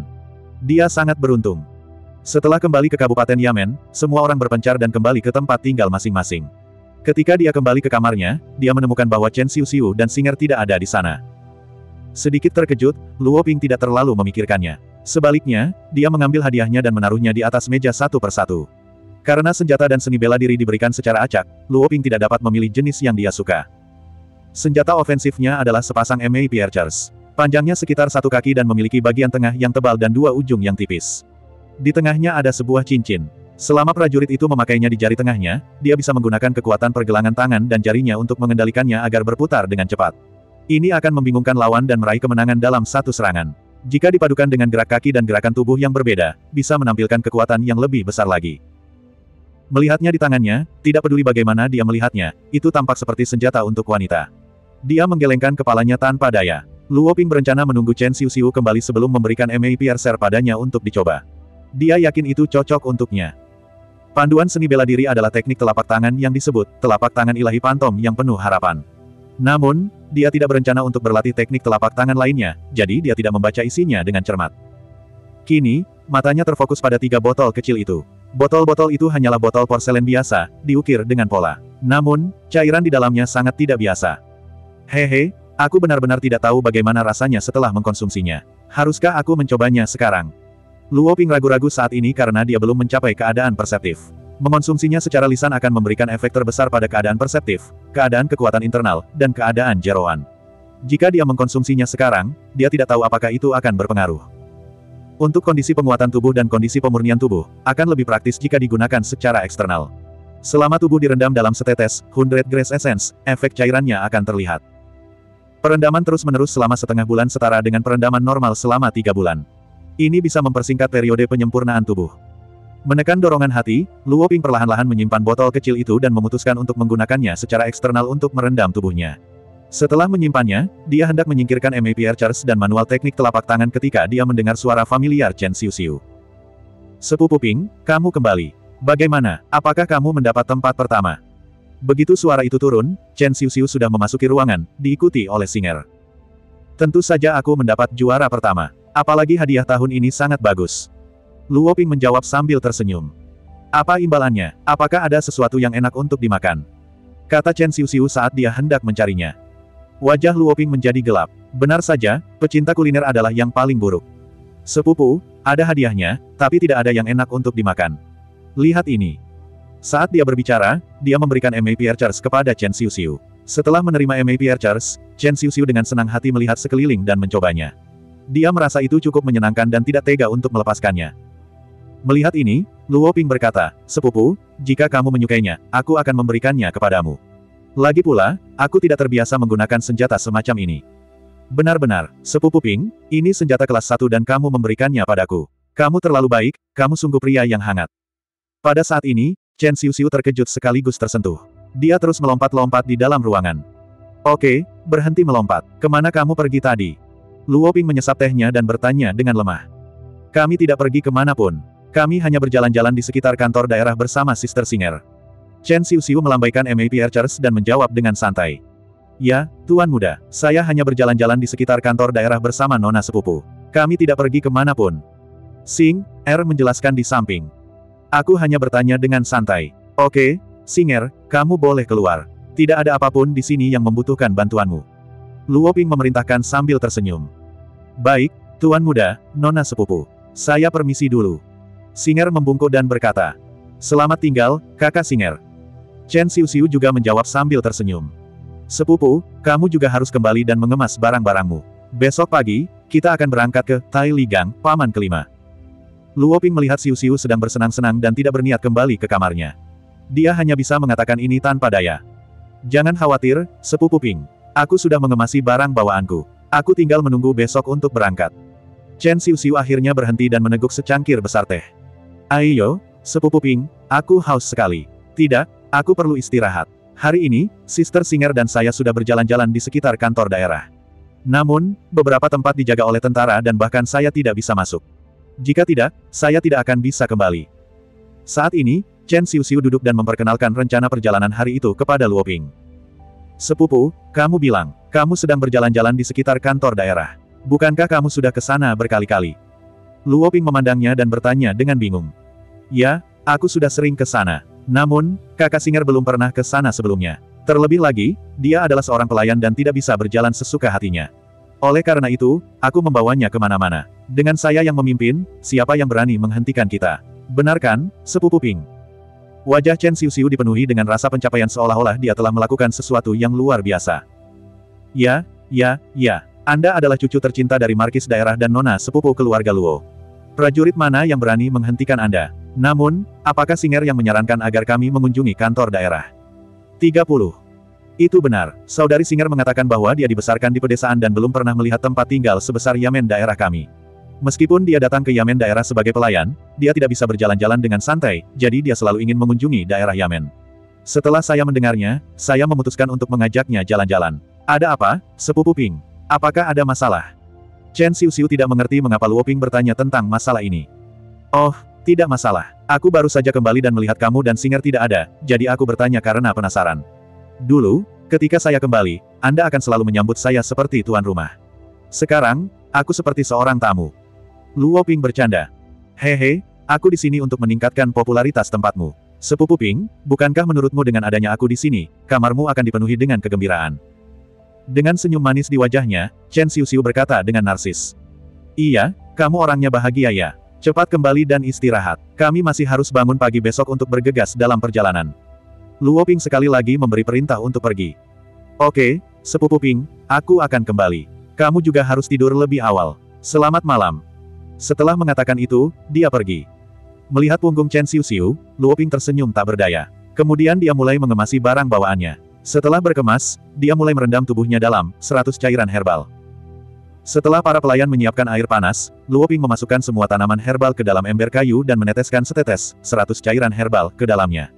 Kemudian dia melepas pakaiannya dan masuk ke dalam air panas. Itu layak disebut cairan dunia lain. Dalam waktu kurang dari 15 menit, Luoping merasakan gelombang panas perlahan naik dari dasar air hingga mencapai permukaan air. Di permukaan air, terdapat gelembung-gelembung dan rasa panas yang masih melekat. Saat ini, dia berada di dalam air dan merasakan panas menyerang tubuhnya sedikit demi sedikit. Seolah-olah tubuhnya sedang dibakar oleh api yang berkobar. Panasnya sungguh tak tertahankan. Ah! Sambil berteriak, Luoping menahan panas dan menutup matanya. Dia mencoba yang terbaik untuk menjaga dirinya tetap tenang dan bebas dari semua gangguan. Lambat laun, rasa terbakar itu hilang sedikit demi sedikit. Luoping dapat dengan jelas merasakan panas telah meresap ke dalam sumsum -sum tulangnya. Kemudian berhenti dan perlahan terakumulasi. Akhirnya, seluruh tubuhnya dipenuhi panas. Setelah panasnya mereda, perlahan-lahan mulai menghilang menjadi ketiadaan. Seolah-olah hal itu tidak pernah muncul. Jika dia tidak merasakan panasnya dengan matanya sendiri, Luoping akan mempercayainya. Saat dia membuka matanya, Luoping sudah mengeluarkan banyak keringat, seolah-olah dia baru saja mengalami pertempuran. Namun, seluruh tubuhnya terasa sangat nyaman, dan kekuatan otot dan tulang miliknya sepertinya meningkat pesat. Karena lima elemen otot adalah kayu, dan lima elemen tulang adalah air, ketika seorang seniman bela diri mencapai puncak level prajurit bela diri, lima elemen-elemen kayu dan lima elemen-elemen air akan menjadi pada kekuatan mereka yang terkuat. Pada saat ini, selama seorang seniman bela diri menerobos puncak prajurit bela diri, mereka akan dapat memasuki tahap ketiga dari alam tubuh fana sembilan tingkat, alam pencerahan perseptif. Dalam keadaan kebijaksanaan, lima elemen mata adalah kayu, dan lima elemen telinga adalah air. Pada saat ini, lima elemen-elemen kayu dan lima elemen-elemen air milik seniman bela diri akan berada pada kondisi terkuatnya, sehingga mereka dapat melihat dan mendengar dengan jelas. Pada saat ini, Luo Ping merasakan peningkatan tajam dalam, kekuatan otot dan tulang miliknya dan sangat bersemangat. Dia sudah bisa merasakan bahwa selama dia berendam beberapa kali lagi, dia akan mampu menembus ke puncak level prajurit bela diri. Selama dia terus meningkatkan kekuatan otot dan tulangnya menjadi yang terkuat, dia akan mampu menerobos ke tingkat kebijaksanaan dalam satu gerakan dan menjadi prajurit bela diri tertinggi. Kekuatan lengannya bukan lagi standar baginya. Siapa yang tahu seberapa banyak yang bisa dia capai pada saat dia dipromosikan menjadi pejuang bela diri tertinggi. Setelah berendam, Luo Ping mulai beristirahat tanpa ada pikiran yang mengganggu. Dia hanya menunggu keesokan paginya untuk berangkat ke geng kekuatan besi. Keesokan harinya, matahari bersinar cerah, angin sepoi-sepoi, dan segala sesuatunya begitu murni sehingga membuat orang merasa rileks dan bahagia. Tidak ada sedikit pun energi duniawi yang tercampur di dalamnya. Seolah-olah mereka berada di surga. Luo Ping siap bertemu dengan yang lain ketika dia melihat Chen Xiu Xiu dan ayahnya berjalan menuju kamarnya bersama. Paman kelima, sepupu Xiu Xiu, mengapa kamu ada di sini? Bukankah kita sudah sepakat untuk bertemu di pintu masuk kantor daerah? Luo Ping menyapa mereka sambil tersenyum. Hahaha, itu semua karena Xiu Xiu. Setelah menunggu di depan pintu beberapa saat, dia bersikeras untuk datang menemuimu. Dia ingin melihat apakah kamu sudah siap. Dia bahkan menyeretku bersamanya. Jadi, saya mengikutinya. Pria parubaya itu menepuk bahu putrinya dengan penuh kasih dan menjelaskan kepada Luoping. Saya siap, saya baru saja hendak keluar. Ayo pergi sekarang. Luoping mengambil barang bawaannya dan bersiap untuk keluar. Sepupu Ping, biarkan aku membantumu. Melihat ini, Chen Xiu Xiu buru-buru berlari untuk membantunya membawa barang bawaannya. Dia tampak bersemangat.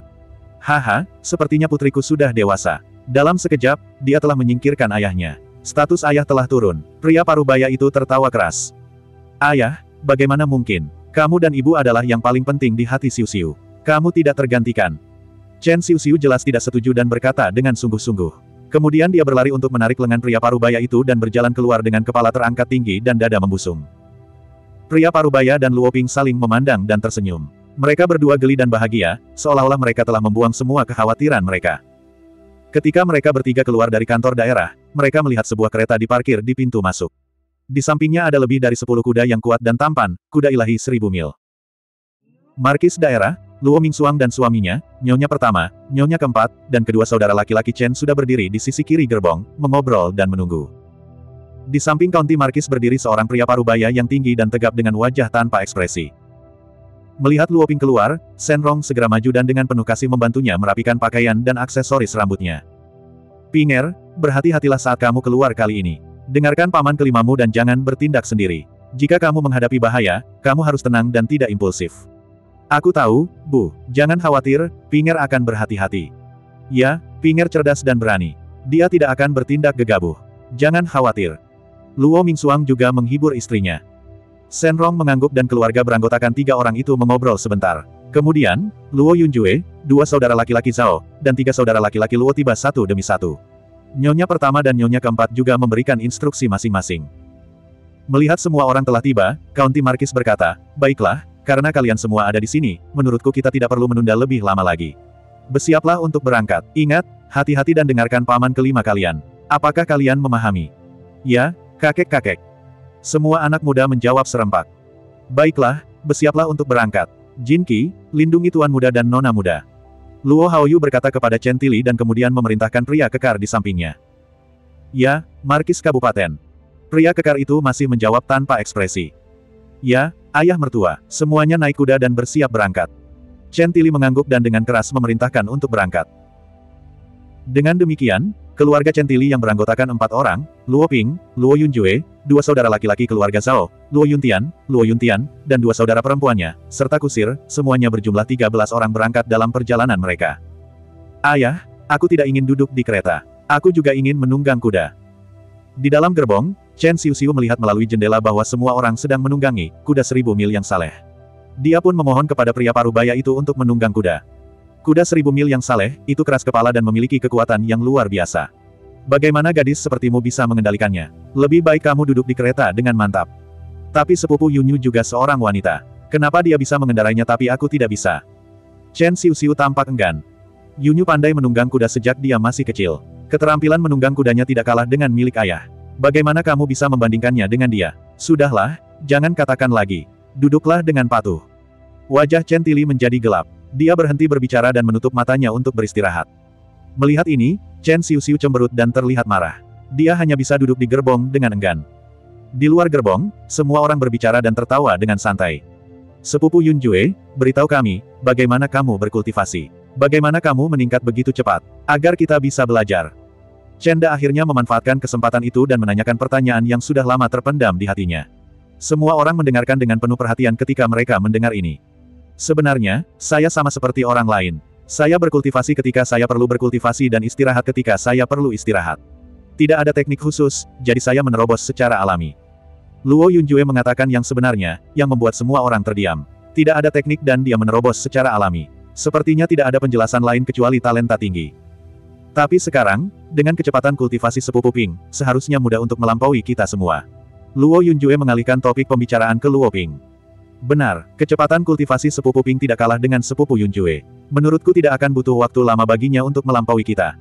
Zhao Jiangbo juga berkata dengan iri. Jangan menyanjung saya, saya sudah bertahun-tahun tidak bisa berkultivasi. Sekarang kecepatan kultivasi saya lebih cepat, saya ingin mengganti waktu yang hilang. Namun, saya akan melakukan yang terbaik untuk melampaui kalian semua. Anda harus bekerja keras. Luo Ping bersikap rendah hati dan kemudian mulai mendorong semangat semua orang, berharap semua orang akan bekerja keras bersama. Benar, kita juga harus bekerja keras. Kita tidak bisa membiarkan sepupu Ping melampaui kita dengan mudah. Luo Yuntian berkata dengan percaya diri. Yang lain tidak mau ketinggalan dan menyatakan bahwa mereka akan melakukan yang terbaik untuk berkultivasi.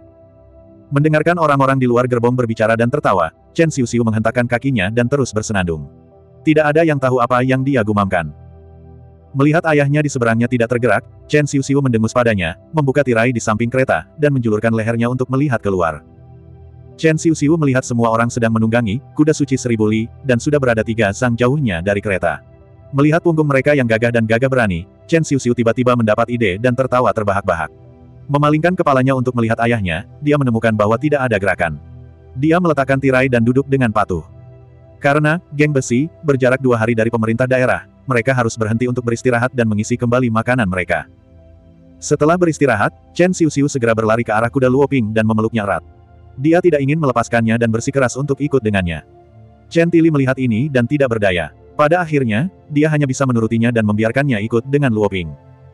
Melihat rencananya berhasil, Chen Xiu akhirnya mengungkapkan senyuman. Setelah duduk di depan Luo Ping lagi, semua orang terus berbicara dan tertawa sepanjang jalan. Dua hari kemudian, semua orang akhirnya tiba di Pegunungan Awan Merah, tempat geng besi berada.